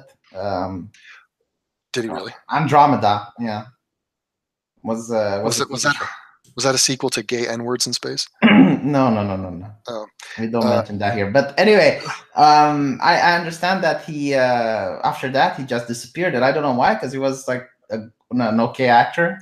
Well, you know what he would want to do is have a rebirth as a career. See what what older action heroes can do is follow the Liam Neeson plan with Taken. Uh, Liam Neeson is now an action star, and he's you know an older guy. Denzel Washington is doing the same thing with The Equalizer. Uh, you got Keanu Reeves is doing the same thing. So there is a market for that. We like because he has the recognition. We know this guy, Yeah. Uh, and I'm sure that he's auditioning or he's you know his agent is trying to hustle up a script. Would you would you see him in Game of Thrones? Oh no, he'd ruin that. Can you imagine him with an accent? well, you know what the problem with him is? I think it's because he's a Christian. That's an issue. Like Hollywood right now is um, incredibly bigoted. Let's put it this way. Like if you don't have the right views, they probably won't work with you. Or how about just no views? I don't really care to know the views of the actors I watch in films. Well, let me let me just read you something from a Marvel editor, so you can uh, you, you can understand, right? And and again, like take into account, this is a person working for Marvel. Like he he's not just a random nobody. He is a uh, um, quite the higher up. Let me see if I can find it. Uh, Rest in peace, Stan Lee. All right, here we go. Yeah, oh yeah, they they attack Stan Lee, but he, just just check this out. Right, Okay. I'm sharing my screen, and this is from Dan Arrow. He's got like the blue the blue ball here. Yeah, why, why do I know that name? He's a big player, isn't he? Yeah, he, he is uh, an editor at Marvel, and he's responding to Ted Lieu, who's like, as 2018 ends tonight, it would be appropriate to remember and honor all the police officers who died in the line of duty this year. There's no higher public service than to risk your life to protect the public. And then Ariel says, they literally have one of the least dangerous jobs on the planet, and they hunt and murder the people of color. Fuck bootlicking liberalism. And what, what I'm showing you here, right? is not the exception. Like if you go and you look at the Marvel editors, Mhm. they are tweeting as if they're CNN anchors. And I, I don't think that there is much difference to what Hollywood is like. It's, Yeah. it's the exact same culture, you know, the exact same corporate culture. And they're hiring based on nepotism and based on ideology. You know, like how Christians used to hire other Christians. Well, I Mhm. think progressives only hire other progressives and they promote each other. Oh God, uh, that is a quite a tweet. I can't believe that's real. Oh, I Wow. can show like so many things if you want. Like if if I open my folder from the comic book industry, like Well- there, there would be no end to it. I did just watch the new Spider-Man, Enter the Spider-Verse, and uh, yeah, it was probably the most progressive thing. Oh, think is, is it seen. woke? Like I haven't seen it. Like I I have no interest in seeing it. Um, just because it's like okay, like I get it. Like you have Spider Man and that's cool, but like all the other Spider Mans are just gimmicky. Like this is too much fan service, in my opinion. Oh yeah, it's a healthy dose of that, but there's a lot of um, visual brilliance and creativity on the screen. It's definitely worth the time and the money to watch it, but uh, you can still criticize the the story, the plot, the sort of overreaching. You know, but look, what what are they doing? They're taking a, a Spider-Man. This is the hundredth story we've heard about this dude and his, you know, his challenges. It's kind of amazing that they've milked it this long. Yeah, I mean, they they try to, I, I guess, rebrand Spider Man in the new Spider Man movie, right? It's uh, Well, this goofy kid rather than um, the the old story. Um, but I, I just uh, I, my, my my point isn't with the movie itself; is the people that are making the movies and the statements that they make on the Twitter. And the way it seems is that if you're a right winger, like my friend Ethan Van Sciver, you have no more place in that industry. The moment you're outspoken, and you don't even have to be right winger. Leftists like you would be flown out as Yeah. as humanly possible. and it's not just Marvel we have to worry about. It's Google. You know, Google is Oh, all, all of social media, all of Silicon Valley. yeah, but I mean, Google sits on top of all of Silicon Valley. So if if those guys are one way, then I don't think Google sits on top. I think it's the payment processors, to be honest. And as I'm looking into it, it seems that it's the credit cards that are pulling the strings. do you think they're as politically activist as they can be? Do you think they're going to ramp up? Um, the thing with the, the credit card companies is that they don't want spotlight on what they're doing. See- So if you if you give them controversy, if you give them a backlash, they will back down. And I have cases where that happened. I'm planning to make a video. So I would have assumed, and maybe it's cynical, that their desire to make money supersedes their desire to be you know, politically righteous. Um, it's about control, actually. Like if you look at the uh, these corporations, they're engaged into politics. So it doesn't make sense that they would donate millions of dollars to, let's say, your favorite woman's campaign, and then allow people to um, to do activism against her. Uh huh. Yeah, they do have a lot of power, and they need to be regulated. And at least there is some competition when it comes to you know Yeah. the banks. And, If you want to see where it all started, look into Operation Choke Point. It's a video that I'm making. It's uh, an, a, a thing that started in the Obama administration, where the government tried to force payment processors and banks to fight against terrorism and uh, well, other things that are legal, yeah, but they didn't. The, the government wouldn't like them, and that's when they showed private companies that they can actually do this and get away with it. yeah. They're well. When it comes to terrorism, that is an interesting topic, and uh, it reminds me of the Apple versus terrorism, or Apple versus the U.S. government, where they wanted them to unlock or give us the password to to break into some dude's phone, Mhm. and they were they were like, no, we're not privacy.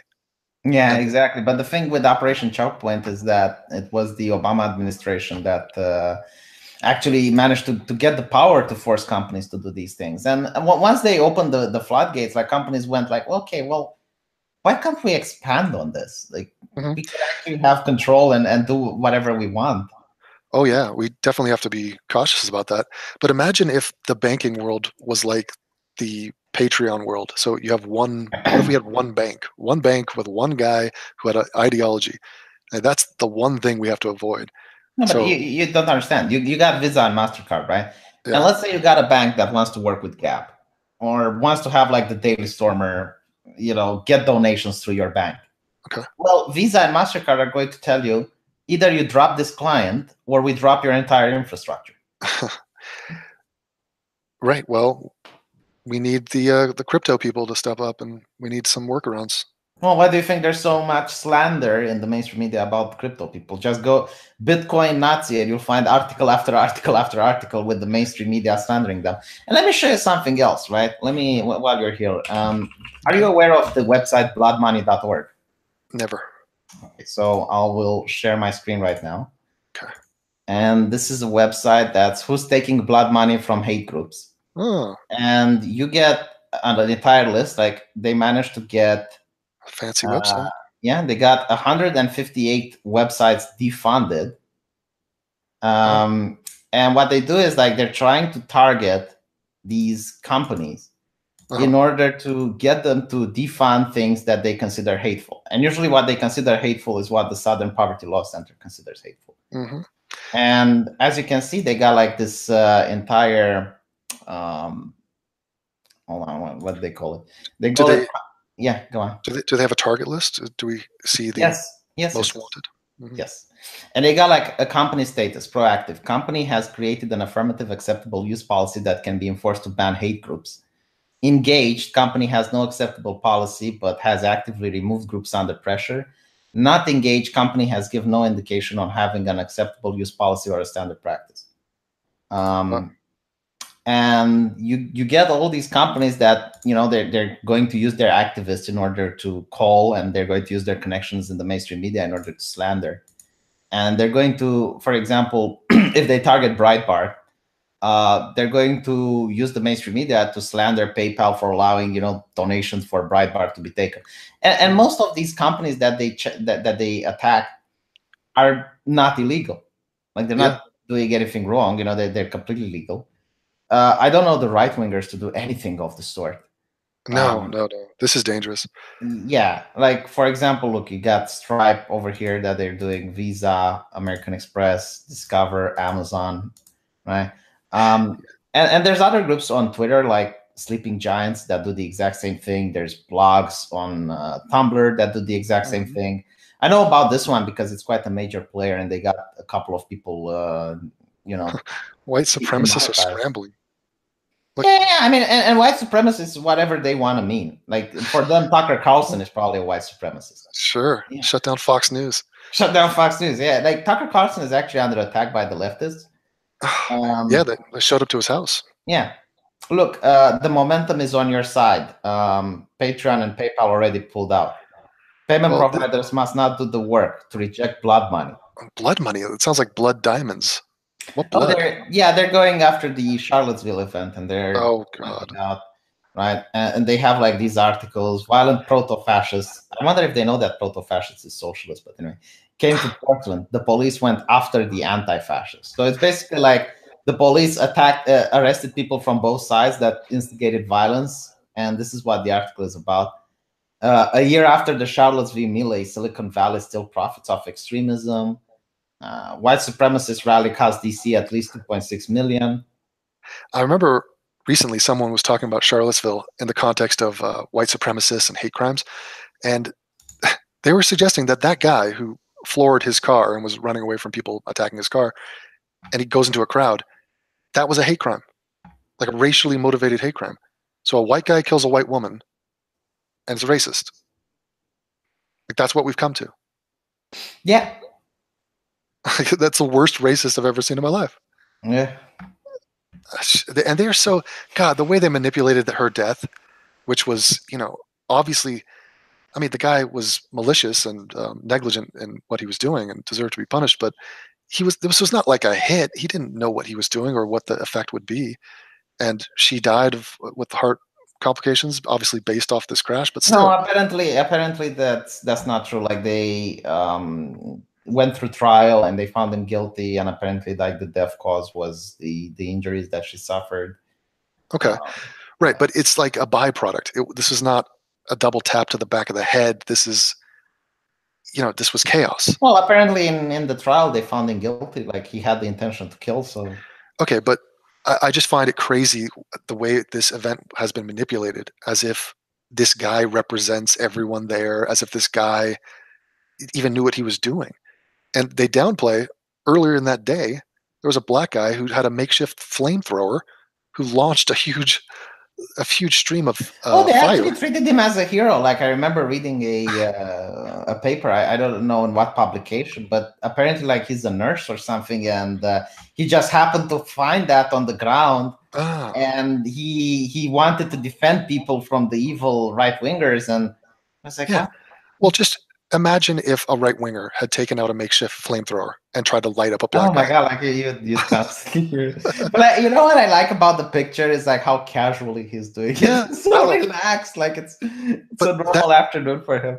That day and that situation was so fucked up that the a guy who saw him do that pulled out a gun and shot a warning shot at the ground to make him oh, I- I stop. that, and, and that and that guy was a Klansman. so like the clan's fucked up. This guy with the flamethrowers fucked up. It's like, oh my god, what is happening? I, I, well, you know, like the thing is that the Young Turks, instead of offering the context and you know telling the story from you know the Oh. the whole aspects of it, they were just uh, talking about how guy shoots at, at Yeah, a black man. It's yeah. like they they cut it out, like they automatically cut it out the flamethrower bit. Like oh, they V, just- it was insane. I remember doing a video on that. They were bitching at this Klansman for firing his weapon as if we couldn't see because they had to show the footage. And like in the corner of the screen, there's a dude lighting a guy on fire, and they ignored it. yeah. They couldn't. like that was that was a low point. That was one of my favorite moments. You know what I think about the uh, Young Turks is that if you look at them trying to get people to the left, like they're they're promoting left, uh, doesn't work. But if you look at it like they're trying to radicalize the subscribers they already got, then it makes a lot of sense. I think it's more pathetic than that. I think at this point they're fully committed to this company and to their narrative that they tell themselves, which is that they're helping benefit the planet and they're, you know, they win awards. They win like humanitarian awards. They think very highly of themselves. And now it's about money. It's about maintaining this money, maintaining a lifestyle. They have a winning formula. So whatever they've been doing has made them X amount of millions. So they're just beating that dead horse. But isn't it interesting? Like when the Young Turks wins a re- uh, an award, it doesn't say anything about the Young Turks, but it says a lot about the people giving the award. Of course, it's like the, the awards are worthless. But I mean, even when they win Streamy awards, what does that mean? It- they'll make a video saying, "Hey, everybody, vote for us to win the Streamy award." Oh my god, I remember when they were they, were livid during the midterms because they were getting downvoted and Czech was so angry. It's like, oh my god. Uh, do you know like at um VidCon when they went, Mhm. apparently everyone had a Q&A session and the young Turks, like instead of giving people the microphone and trusting them with that huge responsibility, they would ask people to write the question on a piece of paper and then give the pieces of paper to Cenk and he would just filter out and, and pick the questions that he liked. Well, you know what's crazy? They, they can do whatever format they want, and it's so telling that they don't have any voices of opposition on their channel. Yeah. Like, the, Well, except for Hasan, who wants to arm the, the yeah, you're right. Exactly. They're they're willing to negotiate the uh, the or have the communist voices on, but uh, that's so interesting. I mean, even CNN, you can criticize them all you want; they'll have different voices on. Oh, did you see the Jimmy Dore versus the Asian guy that they have? That was a, a really heated Huh. argument. Y- Yeah, it was retarded, but I mean, yeah, it was about censorship. Yeah. Uh, Jimmy This is- Dore was right. Come on. Yeah, but I mean, so was my broken clock. yeah, but my Viper, you, you, you will not pick on my spitting Viper. All right. Okay. Like Jimmy Dore is the only leftist that I like. Stay away from him. But can you imagine how boring? This is like Dave Rubin level boredom of, hey guys, free speech is good. Yes, Yeah, but in that world, in, in his bubble, I know, I know. that is greatness. I know that. that I I will grant that in that world, in that context, it is a radical statement to say we shouldn't deplatform people. Yeah, but It's not, it's not, it's not that we shouldn't, like, corporations shouldn't deplatform people. Yeah. Well, did, there was a conversation between Secular Talk, Kyle Kulinski, and Hasan Piker, and they were talking about deplatforming. And Kyle Kulinski was trying to say, "Wait a minute, I believe in principles, and I believe whatever standard I have for my uh, enemies, I should apply towards myself." And he goes, "Yeah, I don't agree with that." He goes, "So wait a minute, it's bad when they do it, but when we do it, it's not bad." He goes, "Yeah, that's what that is what I'm saying." it was incredible. It was just like, and, and then Kyle's like, "Well, I think that's stupid." Said it right to his face it's really interesting watching people on the far left you, differentiate themselves from each other. Oh, but there was this uh, interview with the BBC and Tommy Robinson, and Tommy Robinson asked the BBC guy, "It's like, do, what, what do you think of the rally today? It's like, oh yeah, I think it's okay. Like, do you see any extremists here? It's like, no, no, no, we don't see any extremists here. But you are going to report that it's a far right rally. Yeah, and the saw that. BBC guys goes like, yeah, yeah, yeah, of course. I know they did the same shit with uh, Pegida and uh, or AFD people out in uh, Oh. Germany, and it's you know time after time it's just like housewives and cat ladies and just normal people with normal lives who are expressing concern, and they're like far right extremist group rally against you know anti-Muslim bigotry. It's eh, the facts don't line up with the way they are reported, and Oh, eventually, apparently the AFD got bombed. Someone in the chat said. yeah, I heard about that. I didn't hear about that. yeah. Well, yeah, it's too much shit to keep track of. I mean, Well, to be honest, if you look at the bomb attacks throughout the world, like if I'm not mistaken, like a huge proportion of big chunk of them are done by Muslims, and the rest is done by communists. So I'm not surprised. Oh yeah, go Wikipedia keeps track of terrorist attacks, and it's just a never-ending parade of Muslims. And, it, it's and also- it's Sunni usually, like Sunni. You know, like people keep saying Muslims, but if you look at it, you know, it's not the Shiites that or the Kurds that are doing it. Like they're, they're more into the uh, political assassinations. right, and that's noteworthy. I mean, Mhm. that's a, le- a level of nuance that I think more people should be aware of, actually, um, because to just group all Muslims, it's like no, no, no, no. It's way more involved than that. But it's such a tiresome topic. I mean, did you hear about the beheadings in Morocco? The the one with the two women. Yeah, these two I Danish. actually I, I saw the video and I have to say Oh, like a piece of my soul was lost that day. Like, Yeah. oh, um, Did you watch it from beginning to end?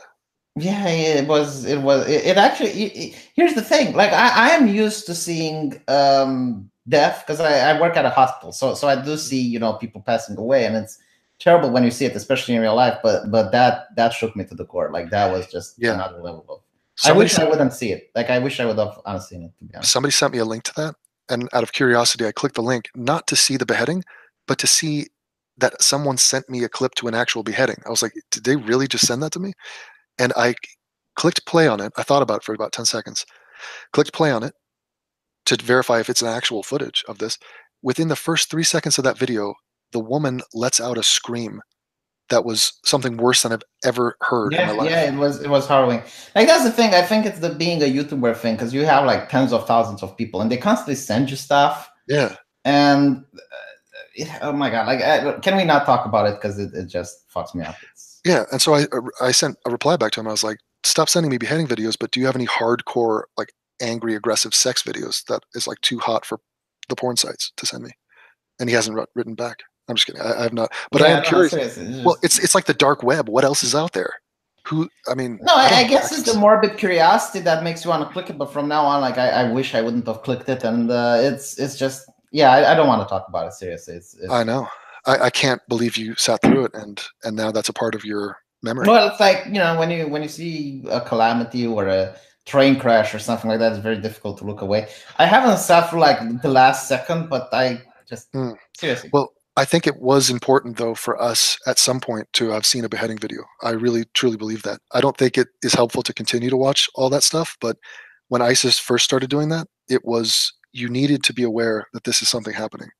Because yeah, that's that's the thing that really marked me, right? Because when you watch a horror movie or you watch some special effects where someone, um, you know, ends up getting killed or beheaded, like in Final Destination or something like that, it's fictional, right? And you get desensitized to it.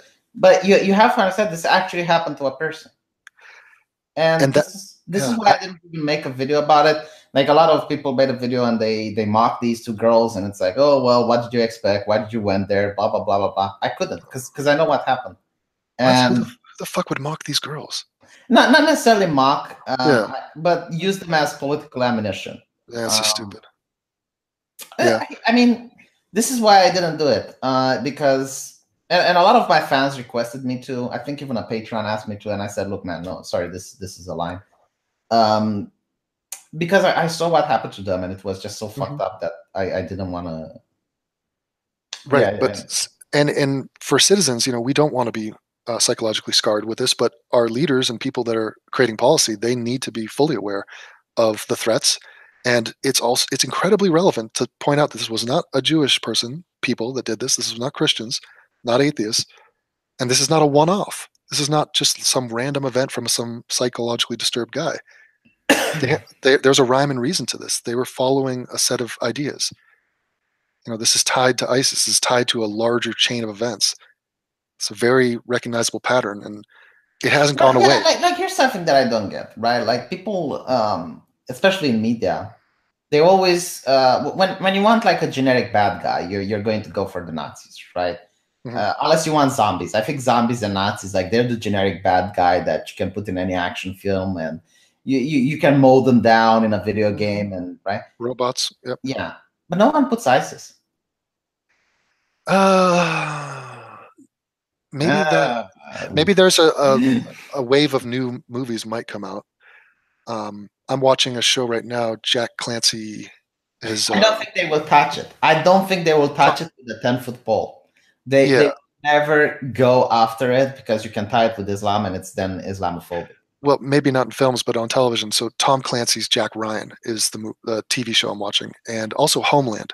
Both of these deal with jihadism and uh, terror cells. Yeah, but if you look at Homeland, it's usually also like here, here's the difference between a right wing movie and a left wing movie, right? In right wing, it's usually the enemy is outside, like you know, you got your nation, like you got America, and the enemy is someone from outside of America trying to hurt America. Mhm. And then when you look at left leaning movies, you got the enemy is always in the inside.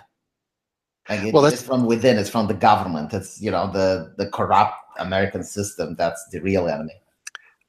Well, I'm not sure if Homeland is a left-leaning show or if that's even Well, come on, you got like CIA working against the president. You got, um, you, you you know, like people people within the government that are constantly trying to betray their their the, the American Okay. people. so technically, that redhead was a, a mole. He was a an operative, you know, a Muslim guy who was within the American. He was an American, but it was still the ideology that was the bad guy. So even if it Well, was an look, look American, look at for, for example, right? Like you got um, the Muslim kid, I think, in the last season, who gets in a truck and yes, uh, that's, yeah, yeah, that's like this this bombing attack, terrorist Mm-hmm. attack, right? And I was like, oh my god, I can't believe they did it. Like the critics are going to believe it. And then the next episode, it's found out that it's not really him. Like someone actually used him as bait. Like it Mhm. was an American that. Was it an American? I thought it was another Muslim. No, no, no, it was an American. Like they, Uh, they planted that in order to try to get the Right. president into a location, Well, like power grab. or it- If someone could make a case that a show like that is uh, pulling their punches on Islam and the threat of Muslim terror, then I would be concerned. But the very fact that the central theme of that show is the threat of Muslim terror, to me, is you know that's a good thing. Well, I think it was in season one, but as as the show went on, it, it moved away from it. Mhm. I mean, It went to the Russians, and it played into the Russian hacker narrative. Um, well, the truth is, you in Romania, me in Denver currently, um, Muslims are not the biggest issue. Uh, but that doesn't no, mean it's not. I think. well, that's a very interesting issue, but it doesn't mean that the Muslim threat and issue is not completely on the front line for so many people all around the world. The problem is, guys like you and I, we get tired of that. Like I got tired talking about religion. It's dead. It's it's it's Hmm. not interesting to me anymore. And so you just said I, you didn't do a video on a Muslim beheading because what are you going to say? You're against it? It's bad. Like how many times can we sit go through this? It's aggravating that it's still here, and we feel sort of impotent and powerless to stop it and yet we still feel the need to vent or maybe at least expose to talk about it to like shine light on these things because damn it i want to get to other topics like sex robots and ai and free will and pop cultures things like that it's much more fun to talk about It's interesting because everyone says like, "Oh my God, you're talking about the Young Turks again," and uh, you do need to have a certain level of charisma to be able to talk about the same subject and still keep people interested. well first of all i'm not talk- talking about the young turks is not the young turks. They cover every topic in the news. So i'm talking about the topics in the news and i feel it's relevant and important and i'm perfectly fine with that. I will i'm happy to justify that to you. These are a group of people in la i was raised in la they work in culver city and west los angeles i used to live and work in culver city and west los angeles i, I feel it's somebody's duty and i'll take on that mantle to for the record point out that these people are bad for society and are causing harm and are causing bloodshed. The, the amount of propaganda they put out, and I understand my channel is you know very small and is you know this is all just a symbolic gesture in the end, but I want someone. If you think that the Young Turks are going to just put out their bullshit and nobody's going to speak back against them, you're incorrect. I'll take that. I'll be that guy. no, I mean everyone used to speak against the actors. I used to have them like the, weekly on my channel, but uh, it gets tired after a while. Oh, like, well, look, I'm I'm not such a larper. Like half of the shit I do is just for fun, and it's yeah, hysterical. I know, I know. But but it, the, the thing is, like, people started to assume that yeah, it's the actors. Of course, they're crazy. But uh, no, like maybe the world needs a guy like you that will ta- ta- tackle on the, the things that no one else wants to talk Sure. about.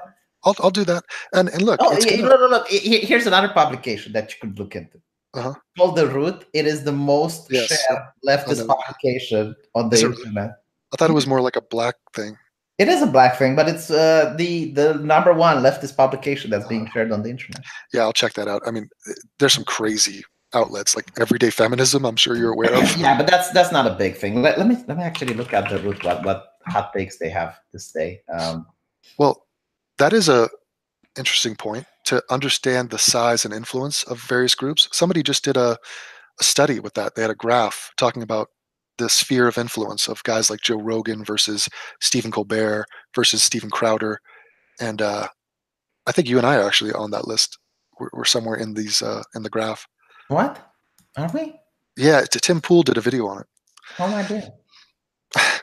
You're a, a little spot. You're a pale blue dot. Oh yeah, yeah, the the alternative influence. Yeah, I know. Yeah, So it's the hit list. because when you are lost in your routine online, it's hard to determine how popular things are. What is the reach? oh, but it wasn't about reach. No, no, no. That list was about who's streaming with whom. Um, No, no, no. I'm saying there's a new one. Tim Pool did a new one with uh, another guy. It, not a bullshit graph. Oh, actual, can you give me can you give me a link to it? I, I want to watch it. yeah, somebody in your chat will have Uh, it. please, please DM it to me. Like I, I want to see. It. Okay. Yeah, yeah. It's interesting. You watched Tim Pool, huh? No, for on time to time, he You sort should, of. you Uh, stream it with him, and it should be like the bald council. Well, I'm, I'm out of the closet, bald. I think he's still in the closet. you know, like y- y- you're going to be happy when you're old and everyone gets white hair, and you're going to be bald. It will make you look younger. yeah, I, I wish I wish I had. Somebody asked me what was your fantasy hairstyle if you had one, and I've always been fond of the David Beckham faux faux mohawk. Faux hawk. I wish I could rock that. I would did totally you, did you try different products, like hair growing products? Like, Oh yeah, It- this was when I was at Berkeley, and I asked my dad, and I think I bought a book, and it was such witchcraft. They, I was going to Chinese markets, gathering herbs and medicines and roots and shit, and I, I, I mixed together something, and I put it in my hair, and somebody told me to like stand on my head at night. I was like a vampire. It was crazy. I tried did, did, did you check your testosterone level? Because usually people with high testosterone don't have hair. yeah I, I don't know i got i got fucked but it, it gave me a lot of life lessons you know because the basic being life is not always going to go the way you want now you have to get over that and stop crying about that and deal with what is real and that's a big lesson to learn especially for a young person who's like immortal and is like why me this isn't fair it's like give me a break somebody just got cancer today you little bitch Oh, I, I can't live my life like that because then everything you experience, it's like, well, it's nothing because I'm gonna experience something worse. It's like, yeah, but I don't care. I'm the center of the universe, you know. Yeah, but that is the one thing we have control over is our attitude and perspective on things. yeah, I guess that's true. But but sometimes I, I enjoy being pissed off and cursing and whining Yeah. about something. Oh, it, it- not not only that, I think it's important to discredit your raw emotions. I mean, they're natural, they're real, they're there for a reason. Someone in the chat just posted an egg. What, why did they? Oh, damn it, that's too What, soon. what, what does that mean? they're saying I look like an egg. It's very oh, I see. But I, I don't think like you look like an egg upside down, to be honest, because you got like. Yeah. They, they don't get the the right. Um, Do you know that, that, that if you put an egg and you try to get it to stay like on on the base, it doesn't. But if you boil an egg and you put it on the base, it stays there. I feel like I've seen a science thing about that at some point. It seems like something uh, Bill Nye would talk about. Oh, when when he doesn't talk about the genders, yeah.